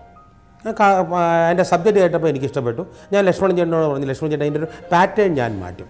മമ്മൂക്ക സെൻട്രൽ ക്യാരക്ടർ ആ ക്യാരക്ടർ മമ്മൂക്ക ചെയ്ത വെറും യൂഷ്വൽ ക്യാരക്ടർ പോലെ ആയിപ്പോൾ ഒരു വക്കീലിന്റെ ക്യാരക്ടറാണ് അത് വിട്ടിട്ട് നമുക്കൊരു ക്യാരക്ടർ ഇപ്പോഴത്തെ ഒരു ബ്രദറിന്റെ ക്യാരക്ടറുണ്ട് ഇത് ഡെവലപ്പ് ചെയ്യുകയാണെങ്കിൽ അദ്ദേഹം ഫ്രീ ആണ്. കാരണം ഹീറോയിനൊന്നുമില്ല അദ്ദേഹത്തിന്. പക്ഷേ എവിടെയും പോകാം എന്തും ചെയ്യാം ആക്ഷൻ സീക്വൻസ് സെന്റിമെന്റ് സീക്വൻസ് ഒക്കെ വരുന്നത് ആ ക്യാരക്ടറാണ് അത് ഡെവലപ്പ് ചെയ്യാമെന്ന് പറഞ്ഞാൽ അങ്ങനെ ആ ക്യാരക്ടർ മമ്മൂക്കയ്ക്ക് വേണ്ടിയിട്ട് ഡെവലപ്പ് ചെയ്തു. ഇപ്പോഴത്തെ രതീഷ് ഹീറോ ഇപ്പോഴത്തെ ഈക്വൽ മമ്മൂക്ക സുരേഷ് ഗോപി നളിനി രോഹിണി എല്ലാം വെച്ചിട്ട് ഒരു പാറ്റേണിൽ ആ സാധനം വർക്കൗട്ട് ചെയ്തു. പിന്നെ അതിനകത്ത് ഒത്തിരി ആർട്ടിസ്റ്റുണ്ട് ഉമ്മുക്ക ഇന്നസെന്റ് ചേട്ടൻ ജഗദീഷ് ശ്രീകുമാർ മാളച്ചേട്ടൻ പപ്പുച്ചേട്ടൻ അത് തുടങ്ങി വലിയ ഒരു താരനിരയുള്ള ചിത്രമാണത്. അപ്പോൾ അതിന്റെ ഒരു സാധനം സെറ്റ് ചെയ്ത് അതിന്റെ കഥ സെറ്റ് ചെയ്തിട്ട് ഞാൻ നേരെ മമ്മൂക്കയുടെ ചെന്ന് പറഞ്ഞു മമ്മൂക്ക ഒരു സബ്ജക്റ്റ് ഇങ്ങനെ പ്ലാൻ ചെയ്തിട്ടുണ്ട്. ആ വർക്ക് ചെയ്യും വർക്ക് ചെയ്യും. ഞാൻ ഒരു ഇന്ന സമയത്ത് ഷൂട്ടിംഗ് പറഞ്ഞിട്ട് കുഴപ്പമില്ല. എന്റെ ഫ്രെയിം ഞാൻ പറഞ്ഞു ആ ഫ്രെയിം കുഴപ്പമില്ല. ബാബു പ്ലാൻ ചെയ്ത് പറഞ്ഞാൽ മതി. ഞങ്ങൾ ഇങ്ങനെ പാപ്പനംകൊണ്ട് ലക്ഷ്മണൻ ചേട്ടന്റെ സബ്ജക്റ്റാണ് അപ്പോൾ പുള്ളി ഒരു മിനിറ്റ് ഇങ്ങനെ സൈലന്റ് ആയി. കുഴപ്പമില്ല വർക്ക് ചെയ്യും എന്ന് പറഞ്ഞു. അങ്ങനെ ഞാനത് ഒരു ഒരുവിധം സെറ്റ് ചെയ്ത് വർക്ക് ചെയ്യാനുള്ള സെറ്റപ്പൊക്കെ ആക്കി. സെറ്റപ്പ് ആക്കി എല്ലാം കഴിഞ്ഞപ്പോഴത്തേക്കാണ് ഡെന്നിസ് ജോസഫ് ഒരു സെറ്റിൽ വന്നത്. അപ്പോൾ ഷൂട്ടിംഗ് തുടങ്ങാൻ എന്റെ മമ്മൂക്കയുടെ പോർഷൻസ് എടുത്തിട്ടില്ല. മമ്മൂക്കയുടെ പിറ്റേന്റെ പിറ്റേ ദിവസമാണ്. അപ്പോൾ ഞാൻ പറഞ്ഞു ഇങ്ങനെ മമ്മൂക്കയുടെ പോർഷൻസ് ഒക്കെ എടുക്കണം എന്ന് പറഞ്ഞു. അപ്പോൾ ഡെന്നിസ് ഞാൻ രണ്ട് ദിവസം ഇവിടെ ഉണ്ട്. ബാബ സ്ക്രിപ്റ്റ് വന്നാൽ എന്തെങ്കിലും വേണമെങ്കിൽ ഞാൻ സപ്പോർട്ട് ചെയ്ത് തരാം എന്ന് പറഞ്ഞു. അങ്ങനെ മമ്മൂക്കയുടെ പോർഷൻസ് മുഴുവൻ. ഇനി അത് എടുക്കാനുള്ള അത്രയേ ഉള്ളൂ. അത് മുഴുവൻ ഞാൻ ഡെന്നിസ് ജോസഫിന്റെ കൊടുത്തു. അദ്ദേഹം അത് വായിച്ചു. അദ്ദേഹത്തിനെ കൊണ്ട് പറ്റുന്ന സജഷനും ഒന്ന് കറക്റ്റ് ചെയ്ത് എല്ലാം കൂടെ തന്നു. അങ്ങനെ ഞാൻ സംഘനാഥം ഷൂട്ടിംഗ് തുടങ്ങി നടന്നുകൊണ്ടിരിക്കുകയാണ്. ആ സമയത്ത് ഒരു ഡയറക്ടർ അവിടെ വന്നു. ഡയറക്ടർ വന്നിട്ട് മമ്മൂക്കയുടെ ഒന്ന് പറയും എന്താണ് ഈ കാണിക്കണത്? ഞാൻ ഈ കഥ വന്ന് പറഞ്ഞതല്ലേ? അന്ന് നിങ്ങൾ വേണ്ടാന്ന് പറഞ്ഞതല്ലേ? എന്നൊക്കെ പറഞ്ഞു. അങ്ങനെ മമ്മക്ക പറഞ്ഞു ആദ്യം പറഞ്ഞു അത് ആ ആ രീതിയും ഈ രീതിയും വ്യത്യാസമുണ്ട് എന്ന് പറഞ്ഞു. അപ്പോൾ അതിനടുത്തേക്ക് ഞാൻ ചെന്നു. അപ്പോൾ ഞാൻ പുള്ളിക്കാരനോട് പറഞ്ഞു ബാബു ഈ കഥ ഞാൻ ഇദ്ദേഹത്തിനോട് പറഞ്ഞു. അദ്ദേഹം അത് വേണ്ടാന്ന് പറഞ്ഞതാണ്. ഇപ്പോൾ ബാബുവിന് അത് ചെയ്യാൻ പറ്റുമല്ലോ? ബാബു ബാബു ഡയറക്റ്റ് ചെയ്യുമ്പോൾ ഇദ്ദേഹത്തിന് കുഴപ്പമില്ലല്ലോ? എന്ന് പറഞ്ഞു. അപ്പോൾ ഞാൻ പറഞ്ഞു ഞാൻ കുറേ മാറ്റി ആ രീതിക്കാണ്. എന്നിട്ട് പുള്ളിക്ക് അങ്ങ് ബോധമാവുന്നില്ല ഈ ഡയറക്ടർക്ക് അത് മമ്മക്ക് പറഞ്ഞു എനിക്ക് ഇഷ്ടമാണ് ബാബുവിനെ. ഇനി ബാബു ഏത് സബ്ജക്റ്റ് ഉണ്ടോന്നാലും ചെയ്യും. ഇയാൾ ആദ്യം ചെയ്യേണ്ടത് നല്ലൊരു സബ്ജക്റ്റായിട്ട് വാ ഞാൻ ഡേറ്റ് തരാം. എന്ന് പറഞ്ഞ് ആ ഡയറക്ടറെ പറഞ്ഞു വിട്ടു. അപ്പോഴാണ് എനിക്ക് മനസ്സിലായി ഈ ഇദ്ദേഹം മമ്മൂക്കാന്ന വ്യക്തി ഈ കഥ നേരത്തെ കേട്ടിട്ടുള്ളതാണ്. എന്നിട്ടും എന്നോട് ഞാൻ ചെന്ന് പറഞ്ഞപ്പോൾ ഈ കഥ ചെയ്യാനായിട്ട് അദ്ദേഹം ഒരു ഒരു മടിയും കാണിച്ചില്ല. പക്ഷേ ഞാൻ അദ്ദേഹത്തിന് വേണ്ടി അദ്ദേഹത്തിന്റെ പോർഷൻ വേറെ വേറെ രീതി അദ്ദേഹം പറഞ്ഞിട്ടല്ല. ഞാൻ അതിനെ വേറൊരു ക്യാരക്ടറൈസേഷനിലാക്കി മാറ്റി. എന്നിട്ട് ആ അത്രയും പോർഷൻ ഡെന്നിസ് ജോസഫ് എനിക്ക് കറക്റ്റ് ചെയ്ത് തരികയും ചെയ്തു. അത് ഇദ്ദേഹം പറയാതെ ഇദ്ദേഹം അറിയാതെ ഞാൻ ചെയ്ത കാര്യമാണ്. പക്ഷേ അത്രയും ഒരു ആത്മാർത്ഥത ഉണ്ടല്ലോ ഇദ്ദേഹത്തിന് എന്ന് ഞാൻ സത്യം പറഞ്ഞു കഴിഞ്ഞാൽ അന്ന് അന്ന് ഞാനത് ഒരു സ്റ്റണ്ടായി പോയ. മീൻസ് അന്ന് അമ്പരന്ന് നിന്ന് പോയ ഒരു സമയമാണത്.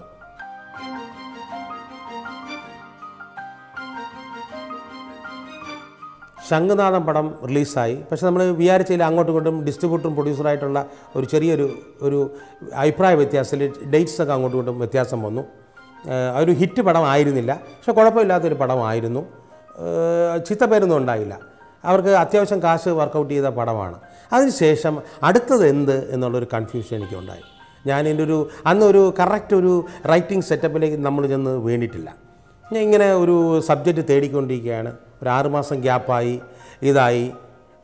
അങ്ങനെ നിൽക്കുമ്പോൾ ഒരു ദിവസം മമ്മൂക്ക ഒരു ദിവസം മമ്മൂക്കയുടെ ഫോൺ വരണം. അപ്പോൾ അത് എന്താണ് പരിപാടി? എന്ന് വെച്ചാൽ നമുക്ക് ഇങ്ങനെ സബ്ജക്റ്റൊക്കെ ഇങ്ങനെ തേടിക്കൊണ്ടിരിക്കണു അങ്ങോട്ട് അങ്ങോട്ട് ഒത്തു വരണില്ല. ഞാൻ ശ്രീനിവാസനോട് സംസാരിച്ചിട്ടുണ്ട് ജഗദീഷിനോട് സംസാരിച്ചിട്ടുണ്ട്. ഇങ്ങനെ ഒരു ഒരു കറക്റ്റ് ഒരു പാറ്റേണിലേക്ക് വരുന്നില്ല. പുള്ളി പറഞ്ഞ് കുറേ സ്റ്റൈൽ ഇപ്പം ടോട്ടലായിട്ട് ഇപ്പോൾ സിനിമയുടെ ട്രെൻഡ് സ്റ്റൈലൊക്കെ വേറൊരു രീതിയിൽ കിടക്കുകയാണ്. എന്താ ഒരു അടുത്ത ആഴ്ച ഫ്രീ ആണെങ്കിൽ ഒരു ദിവസം എറണാകുളത്തേക്ക് വരും. ഞാനിവിടെ ഒരു പത്ത് ദിവസം ഉണ്ട് എന്ന് പറഞ്ഞു. ഞാൻ വരാം. എന്ന് വരും. ഞാൻ പറഞ്ഞു തിങ്കളാഴ്ച വരാം. ഓക്കെ. എന്ന് പറഞ്ഞു. അപ്പോൾ ട്രെയിനിൽ ട്രെയിനിൽ വന്നാൽ മതി. എന്നൊക്കെ പറഞ്ഞ് ഞങ്ങൾ തമ്മിൽ സംസാരിച്ചു.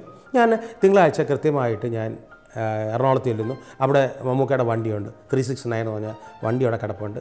ബാബു എന്ന് പറഞ്ഞ ഒരു ഡ്രൈവറായിരുന്നു അന്ന് കൂടെ ഉണ്ടായിരുന്നത്. അദ്ദേഹം നേരെ എന്നെ കൂട്ടിക്കൊണ്ട് നേരെ മമ്മൂക്കയുടെ വീട്ടിൽ ചെല്ലുന്നു. ഞങ്ങൾ അവിടെ നിന്ന് ബ്രേക്ക്ഫാസ്റ്റ് കഴിക്കുന്നു. ഞാനും മമ്മൂക്കയും കൂടെ നേരെ ഇവിടെ നവോദയ സ്റ്റുഡിയോയിലേക്ക് വരുന്നു അവിടെ സാജൻ ഡയറക്ടർ സാജേട്ടൻ ഡയറക്റ്റ് ചെയ്യുന്ന ഒരു പടത്തിന്റെ ഷൂട്ടിങ്ങാണ്. ഞാനവിടെ ഇരുന്നു. ഉച്ചയ്ക്ക് ഊണ് കഴിച്ചു. വൈകുന്നേരം അഞ്ച് മണിയായപ്പോൾ തിരിച്ച് ഷൂട്ടിംഗ് അത് അഞ്ച് മണി വരെ അന്ന് മമ്മൂക്ക ഷൂട്ടിംഗ് ഉണ്ടായിരുന്നുള്ളൂ. അപ്പോൾ അദ്ദേഹം അതോ അഞ്ച് മണി വരെ അദ്ദേഹം അവിടെ പറഞ്ഞിരുന്നുള്ളൂ അന്ന് വർക്ക് ചെയ്യുന്ന അഞ്ച് മണി വരെ പറഞ്ഞിരുന്നു. എന്തോ എന്തോ അഞ്ച് മണിയായപ്പോഴത്തേക്കും അദ്ദേഹം പറഞ്ഞു നമുക്ക് പോകാം ഷൂട്ടിംഗ് അദ്ദേഹത്തിന്റെ വർക്ക് കഴിഞ്ഞു. എന്നെ കൂട്ടിക്കൊണ്ട് നേരെ വീട്ടിൽ വന്നു. അദ്ദേഹം ഒന്ന് ഫ്രഷായി എനിക്ക് ചായ വന്നു. ചായ കുടിച്ചിട്ട് നമുക്കൊരു സ്ഥലം വരെ പോകാം എന്ന് പറഞ്ഞ് മമ്മൂക്ക നേരെ എന്നെ കൊണ്ടുവരുന്നത് ഡെനിസ് ജോസഫിന്റെ വീട്ടിലേക്കാണ്. മമ്മൂക്കയുടെ വീട്ടിൽ നിന്ന് ഒരു അര മുക്കാൽ കിലോമീറ്ററേ ഉള്ളൂ ഡെനിസിന്റെ വീട്ടിലേക്ക്. ഇത് പനമ്പള്ളി നഗർ അത് ഗിരിനഗർ അവിടെ ചെന്നു വണ്ടി നിർത്തി അദ്ദേഹത്തിന്റെ അദ്ദേഹത്തിനാണ് മമ്മൂക്കാനാണ് വണ്ടി ഡ്രൈവ് ചെയ്യണത്. ആ സൈഡിൽ ഒതുക്കി നേരെ ഡെന്നിസിന്റെ വീട്ടിലേക്ക് കയറി. പറഞ്ഞാൽ ഡെന്നിസ് ഓടി വന്നു. പറഞ്ഞ എന്റെ പറഞ്ഞു ഡെന്നിസിനെ പരിചയമില്ലേ? ഞാൻ പറഞ്ഞില്ല നമുക്ക് സംഘനാഥത്തിലൊക്കെ എന്റെ നമ്മുടെ മാക്സിമം അന്ന് സപ്പോർട്ട് ചെയ്ത് തന്നതാണ്. ഡെന്നിസിന് അതിന് മുമ്പ് എനിക്ക് പരിചയമുണ്ട്. എന്നൊക്കെ പറഞ്ഞ് ഞങ്ങൾ സംസാരിച്ചു. ആ അവിടെ വെച്ച് മമ്മൂക്ക പറഞ്ഞു ബാബുവിന് ഒരു സ്ക്രിപ്റ്റ് എഴുതി കൊടുക്കണം നീ. അത് പറയാനായിട്ടാണ് ഞാൻ വന്നത് എന്ന് പറഞ്ഞു. പറഞ്ഞ ഡെന്നിസ് ഒന്നും പറഞ്ഞില്ല. ബാബു ഇരിക്കുന്നു പറഞ്ഞ് പുള്ളിയുടെ ഹാളിൽ എന്നെ ഇരുത്തിയിട്ട് മമ്മൂക്കയും വിളിച്ചുകൊണ്ട് നേരെ പുള്ളി അകത്തേക്ക് പോയി. അകത്തേക്ക് പോയി ഒരു ഒരു പത്ത് മിനിറ്റ് കഴിയുമ്പോൾ മമ്മൂക്കയും ഡെന്നിസും കൂടെ പുറത്ത് വന്നു. പുറത്ത് വന്നിട്ട് എന്റെ ഒക്കെ പറഞ്ഞു ഞാൻ എല്ലാം ഇവനോട് പറഞ്ഞിട്ടുണ്ട്. ബാ നോക്ക് പോകാം എന്ന് പറഞ്ഞു. അപ്പോൾ ഡെന്നിസ് പറഞ്ഞു മമ്മൂക്ക ബാബു രാത്രിത്തെ ട്രെയിനിലല്ലേ പോകണത് ഞാൻ ഒരു ഒരു അരമണിക്കൂർ കഴിഞ്ഞ് ഞങ്ങൾ രണ്ടും കൂടെ മമ്മൂക്കയുടെ വീട്ടിൽ വരാം എന്ന് പറഞ്ഞു. ശരി എന്ന് പറഞ്ഞ് മമ്മൂക്ക മമ്മൂക്കയുടെ കാറിൽ അങ്ങ് പോയി. ഞാനും എന്റെ ഒക്കെ ഇരിക്കാൻ പറഞ്ഞു. എനിക്ക് ഡെന്നിസ് ഒരു ചായ കൊണ്ട് തന്നു. ഡെന്നിസ് എന്നോട് പറഞ്ഞു ഞാനൊരു അഞ്ചാറ് പടത്തിന്റെ സ്ക്രിപ്റ്റിന്റെ കമ്മിറ്റ്മെന്റിലാണിപ്പോൾ ഞാൻ. ഒരു അഞ്ചാറ് പടം വേറെയും വന്ന് കിടപ്പുണ്ട്.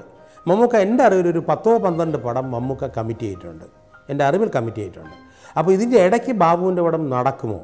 ഇതാണ് ഞാൻ അകത്ത് കൊണ്ട് ചോദിച്ചത്. അതോ വെറുതെ ഈ ചില ആൾക്കാർ ആ ശരി ഡേറ്റ് തരാം സ്ക്രിപ്റ്റ് വർക്ക് ചെയ്യുമെന്ന് പറയും. സ്ക്രിപ്റ്റ് കറക്റ്റ് ചെയ്ത് തീർത്ത് വരുമ്പോൾ പറയും ഇതിൽ കുറേ കറക്ഷൻ ഉണ്ടെന്ന് പറയും. അല്ലെങ്കിൽ ഇത് അങ്ങോട്ട് ചേഞ്ച് ചെയ്യട്ടെ എന്ന് പറയും. ഈ എല്ലാം- സെറ്റ് ചെയ്ത് പറയുമ്പോൾ ഈ പ്രൊഡ്യൂസർ സെറ്റപ്പ് ശരിയല്ല വേറെ പ്രൊഡ്യൂസറെ നോക്ക നോക്കുക എന്ന് പറയും. ഇത് സമയം തള്ളിയെടുക്കാനായിട്ടുള്ളതാണ്.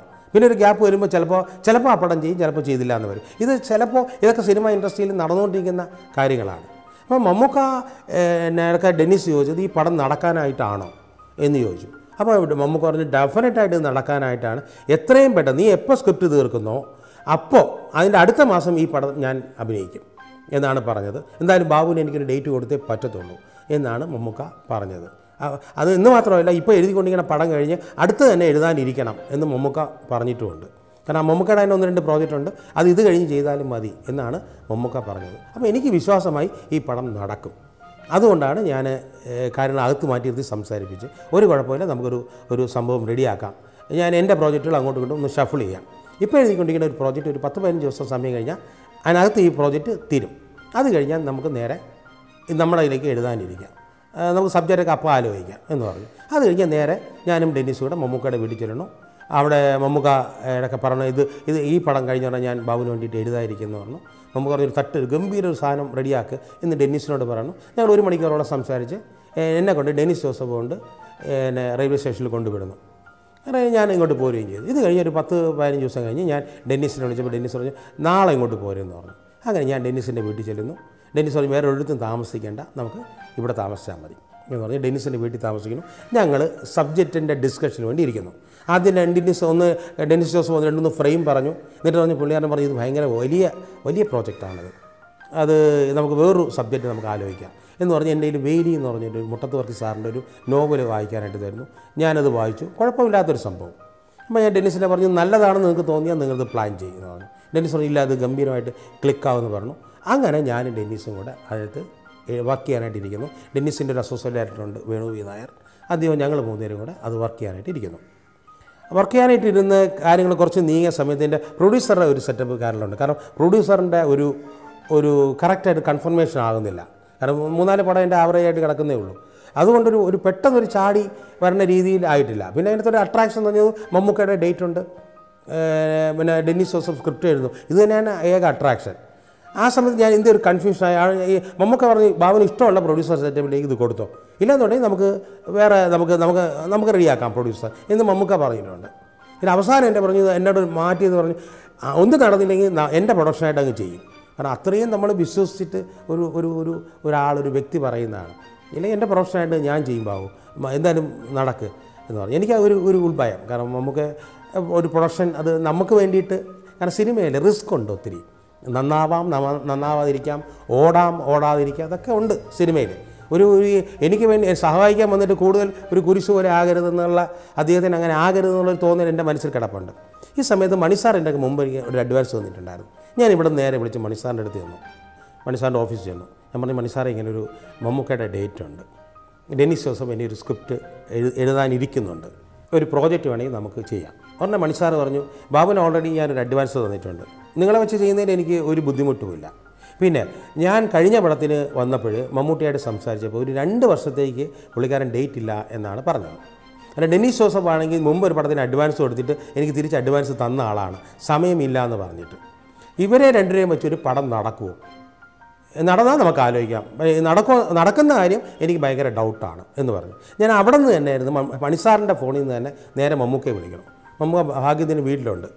ഞാൻ പറഞ്ഞു മമ്മൂക്ക ഞാൻ മണിസാറിന്റെ അടുത്ത് നിൽക്കുകയാണ്. മണിസാർ ഈ പ്രോജക്റ്റ് ചെയ്തോളാമെന്ന് പറയണം. മമ്മൂക്ക ഒരു വാക്ക് സംസാരിച്ചാൽ മതി. ഫോൺ കൊടുക്ക് എന്ന് പറഞ്ഞു. അങ്ങനെ അങ്ങനെ ആ ഫോൺ ഞാൻ മണിസാറിന്റെ കൊടുക്കുന്നു മമ്മൂക്ക ഫോണിൽ കൂടെ പറഞ്ഞു ഞാൻ മുപ്പത് ദിവസം ഡേറ്റ് ബാബുവിന് വേണ്ടി മാറ്റിയിട്ടിട്ടുണ്ട്. അത് ബാബു പറയുന്ന സമയത്തുള്ള ഡേറ്റ്. എന്റെ ഡേറ്റ് അല്ല. ബാബു അടുത്ത മാസം തുടങ്ങാമെന്ന് പറഞ്ഞാൽ അതാണ് ഡേറ്റ്.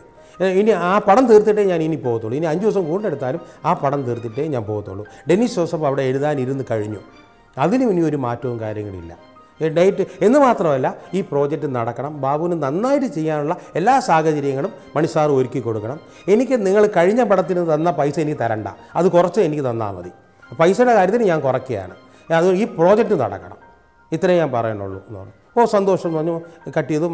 മാണി സാറിന് ഭയങ്കര സന്തോഷം. കാരണം ഒരു നടൻ വിളിച്ച് അങ്ങോട്ട് മമ്മൂട്ടിയെ പോലത്തെ ഒരു നടൻ മമ്മൂക്കയെ പോലത്തെ ഒരു നടൻ വിളിച്ച് ഡേറ്റ് ഉണ്ടെന്ന് പറയുകയും പൈസ കുറച്ച് തരിക ചെയ്യാമെന്ന് പറയുകയും ഡെന്നിസ് ജോസഫ് ഇപ്പുറത്ത് വെയിറ്റ് ചെയ്യുകയും ചെയ്യുകയാണ് ഞാൻ അവിടെ നിന്ന് തന്നെ ഡെന്നിസ് ജോസഫിനെ വിളിച്ചു. ഡെന്നിസ് പറഞ്ഞു മണി സാറേ ഞങ്ങൾ ഇരുന്ന് കഴിഞ്ഞു. ഒരു- എനിക്ക് തോന്നുന്നു ഒരു പത്ത് ഇരുപത് ദിവസത്തിനകത്ത് ഇനി നല്ലൊരു ഷേപ്പും കാര്യങ്ങളൊക്കെ ആവും. എന്ന് മാത്രമല്ല ഇത് കോസ്റ്റിന് ഒതുങ്ങുന്ന ഒരു സംഭവമായിരിക്കും. ഹൈ കോസ്റ്റൊന്നും പോകത്തില്ല. അങ്ങനെ പണി സാറ് ഭയങ്കര സന്തോഷമായി. ഫോൺ കട്ട് ചെയ്ത് എന്റെ പറഞ്ഞു അപ്പോൾ തന്നെ പുള്ളി എനിക്ക് അഡ്വാൻസ് എടുത്ത് തരാനായിട്ട് നിന്നു. ഞാൻ പറഞ്ഞു വേണ്ട സാറേ ഓൾറെഡി ഞാൻ സാറിന് ഇന്ന് അഡ്വാൻസ് വാങ്ങിച്ചിട്ടുണ്ട്. അഡ്വാൻസ് പിന്നെ സംസാരിക്കാം. ഞങ്ങൾ എറണാകുളത്ത് എഴുതാനിരിക്കുകയാണ് ഉടനെ തന്നെ മണിസാറ് വിളിച്ചിട്ട് എറണാകുളം മാനേജർ ഹർഷനോട് പറഞ്ഞു തിങ്കളാഴ്ച മുതൽ ഇവർക്ക് ബി ടി എച്ചിൽ റൂം ഇട്ട് കൊടുക്കുക അവരവിടെ ഇരുന്ന് എഴുതട്ടെ. എന്ന് പറഞ്ഞു. അങ്ങനെ പ്രോജക്റ്റ് കൺഫേമായി ഞാൻ തിങ്കളാഴ്ച തന്നെ ഞാൻ ഡെന്നിസ് ജോസും ബി ടി എച്ചിൽ നിന്ന് എഴുതി ഒരു ആദ്യ സബ്ജക്റ്റ് ഒന്നും മണിസാറിന് എന്താണെന്ന് പോലും അറിയില്ല. മമ്മൂക്കയ്ക്കും ഒരു ഐഡിയ ആയിട്ടില്ല. ഞങ്ങൾ സാധനം സെറ്റ് ചെയ്ത് വന്ന് ഏതാണ്ട് ഒരു ഒരു ഷേപ്പാക്കി കാരണം ഡെന്നിസ് ജോസഫ് അത് ടേപ്പ് റെക്കോർഡിൽ റെക്കോർഡ് ചെയ്യും. അത് രാത്രി ഞങ്ങളത് വേണുവും ഇല്ലായിരുന്ന സ്ക്രിപ്റ്റ് എഴുതും. ആ രീതിക്കായി ഇതിന്റെ ഇടയ്ക്ക് അതിനകത്ത് ഒരു കൾച്ചറുണ്ട് ഒരു ക്രിസ്ത്യൻ ബാക്ക്ഗ്രൗണ്ടാണ് അതിന്റെ കൾച്ചറൊക്കെ എനിക്ക് ഡെന്നിസ് പറഞ്ഞു തരും. ഡെന്നിസിനോട് ഞാൻ പള്ളിയിലൊക്കെ പോയി തുടങ്ങി. എനിക്ക് കാര്യങ്ങളൊക്കെ അറിയാനും കാര്യങ്ങളൊക്കെ അങ്ങനെ ഡെന്നിസ് പഠി പഠി പഠിക്കാൻ വേണ്ടി തന്നെയാണ്. അങ്ങനെ ഞാനത് കൂടെ നടന്ന് ഏതാണ്ടൊരു ഒരു ഷേപ്പായി കോട്ടയം കുഞ്ഞച്ചൻ ടൈറ്റിലിട്ടു മമ്മൂക്ക വിളിച്ചു പറഞ്ഞു മമ്മൂക്ക ഏതാണ്ട് ഷേപ്പ് ആയിട്ടുണ്ടെന്ന് പറഞ്ഞു. അടുത്ത ദിവസം തന്നെ മമ്മൂക്ക ഞങ്ങളുടെ റൂമിൽ വന്നു. ബി ടി എച്ചിൽ വന്നു. ഈ സബ്ജക്റ്റ് കേട്ടു ഫ്രെയിം കേട്ടു. ഭയങ്കര ത്രില്ല് മമ്മൂക്ക. ഇത് നമുക്ക് പ്ലാൻ ചെയ്ത് കലക്കും എന്നൊക്കെ പറഞ്ഞ് മമ്മൂക്ക അവിടെ നിന്ന് പോകുന്നു. പിന്നെ മമ്മൂക്ക ഈ പറഞ്ഞതിലെ എല്ലാ സംഭവങ്ങളായി മമ്മൂക്കയുടെ ഭീകരമായ സപ്പോർട്ടായിരുന്നു കോട്ടയം ഹോസ്പിറ്റലിൽ ലൊക്കേഷനിൽ അത് അദ്ദേഹത്തിന്റെ പ്രൊഡക്ഷൻ പടമാതിരി അല്ലെങ്കിൽ കാരണം എല്ലാ പടവും അങ്ങനെയല്ല. ഞാൻ നിങ്ങൾ വർക്ക് ചെയ്യുന്ന എല്ലാ പടത്തിലും അദ്ദേഹത്തിന്റെ ഒരു പടം എന്നുള്ള രീതിയിലുള്ള ഒരു അവകാശം അദ്ദേഹത്തിന് ഉണ്ട്. ആർട്ടിസ്റ്റിന് തലയിവി കൊടുക്കും. അന്ന് ഈ കോൺലെസ് മൈക്ക് അന്ന് അദ്ദേഹം തന്നെയാണ് പുറത്തുനിന്ന് കൊണ്ടുവന്നത്. ആ മൈക്ക് എല്ലാവർക്കും ഫിറ്റ് ചെയ്ത് കൊടുക്കും. അദ്ദേഹം റെക്കോർഡിംഗ് മറ്റേ ഒരു ഒരു ബോക്സ് ഉണ്ട്. അവിടെ ഇരുന്നിട്ട് അത് സൗണ്ട് അഡ്ജസ്റ്റ് ചെയ്യും. പൈലറ്റ് എടുക്കാൻ വേണ്ടിയിട്ട്. അപ്പോൾ അത്രയും ഒരു ഇൻവോൾവ്മെന്റ് ആണ് അദ്ദേഹത്തിന് കോട്ടയം കൊച്ചിനോട് ഉണ്ടായിരുന്നത്. അല്ലെങ്കിൽ എന്റെ ചിത്രങ്ങളോട് അദ്ദേഹത്തിന് ഉള്ളത്. അപ്പോൾ എന്ന് മാത്രമല്ല എല്ലാ ആർട്ടിസ്റ്റ് ഡയലോഗൊക്കെ വായിച്ചു കൊടുക്കാൻ നിൽക്കും. ഒരു സമയത്ത് എനിക്ക് റെക്കോർഡിങ്ങിന് പോകാൻ പറ്റിയില്ല. കാരണം ഷൂട്ടിംഗ് നടക്കുന്നു. ശ്യാം സാറിന് ചെന്നൈയിൽ നിന്ന് കറക്റ്റായിട്ട് റെക്കോർഡ് കമ്പോസിന് ഇരിക്കാൻ പറ്റിയില്ല. ഷൂട്ടിങ്ങിന്റെ ഇടയ്ക്കായി പോയി കമ്പോസിങ് ഈ കമ്പോസിങ് രണ്ട് ദിവസം കമ്പോസിങ്ങിന് പോയതും റെക്കോർഡിങ്ങിന് പോയതും മമ്മൂക്കയാണ്. ആ പടത്തിന്റെ മൂന്ന് പാട്ടിനും. ശംസാറും ചുരക്കര ചേട്ടനും മമ്മൂക്കയും കൂടെയാണ് അതിന്റെ കംപ്ലീറ്റ് കാര്യങ്ങൾ നോക്കി മമ്മൂക്കയാണ് അതിന്റെ ബാക്കിയുള്ള ട്യൂൺ സെലക്ട് ചെയ്യാനായിട്ടൊക്കെ നിന്നത്. അത്രയും ഒരു ബന്ധമാണ് ഞങ്ങൾ തമ്മിലുള്ളത്. കാരണം കോട്ടയം കുഞ്ഞച്ചൻ ഹിറ്റാവണമെന്ന് എന്നെക്കാൾ ആഗ്രഹം മമ്മൂക്കയ്ക്കായിരുന്നു. അദ്ദേഹത്തിന്റെ നിലനിൽപ്പിന് വേണ്ടിയിട്ടല്ല. അദ്ദേഹം ഓൾറെഡി നിന്ന് കഴിഞ്ഞു. എന്റെ ഒരു നിലനിൽപ്പിന് വേണ്ടിയിട്ട്. അതായിരുന്നു ഞങ്ങൾ തമ്മിലുള്ള ബന്ധം. കുഞ്ഞച്ചൻ ചേട്ടൻ. കോട്ടയം കുഞ്ഞച്ചൻ ചേട്ടൻ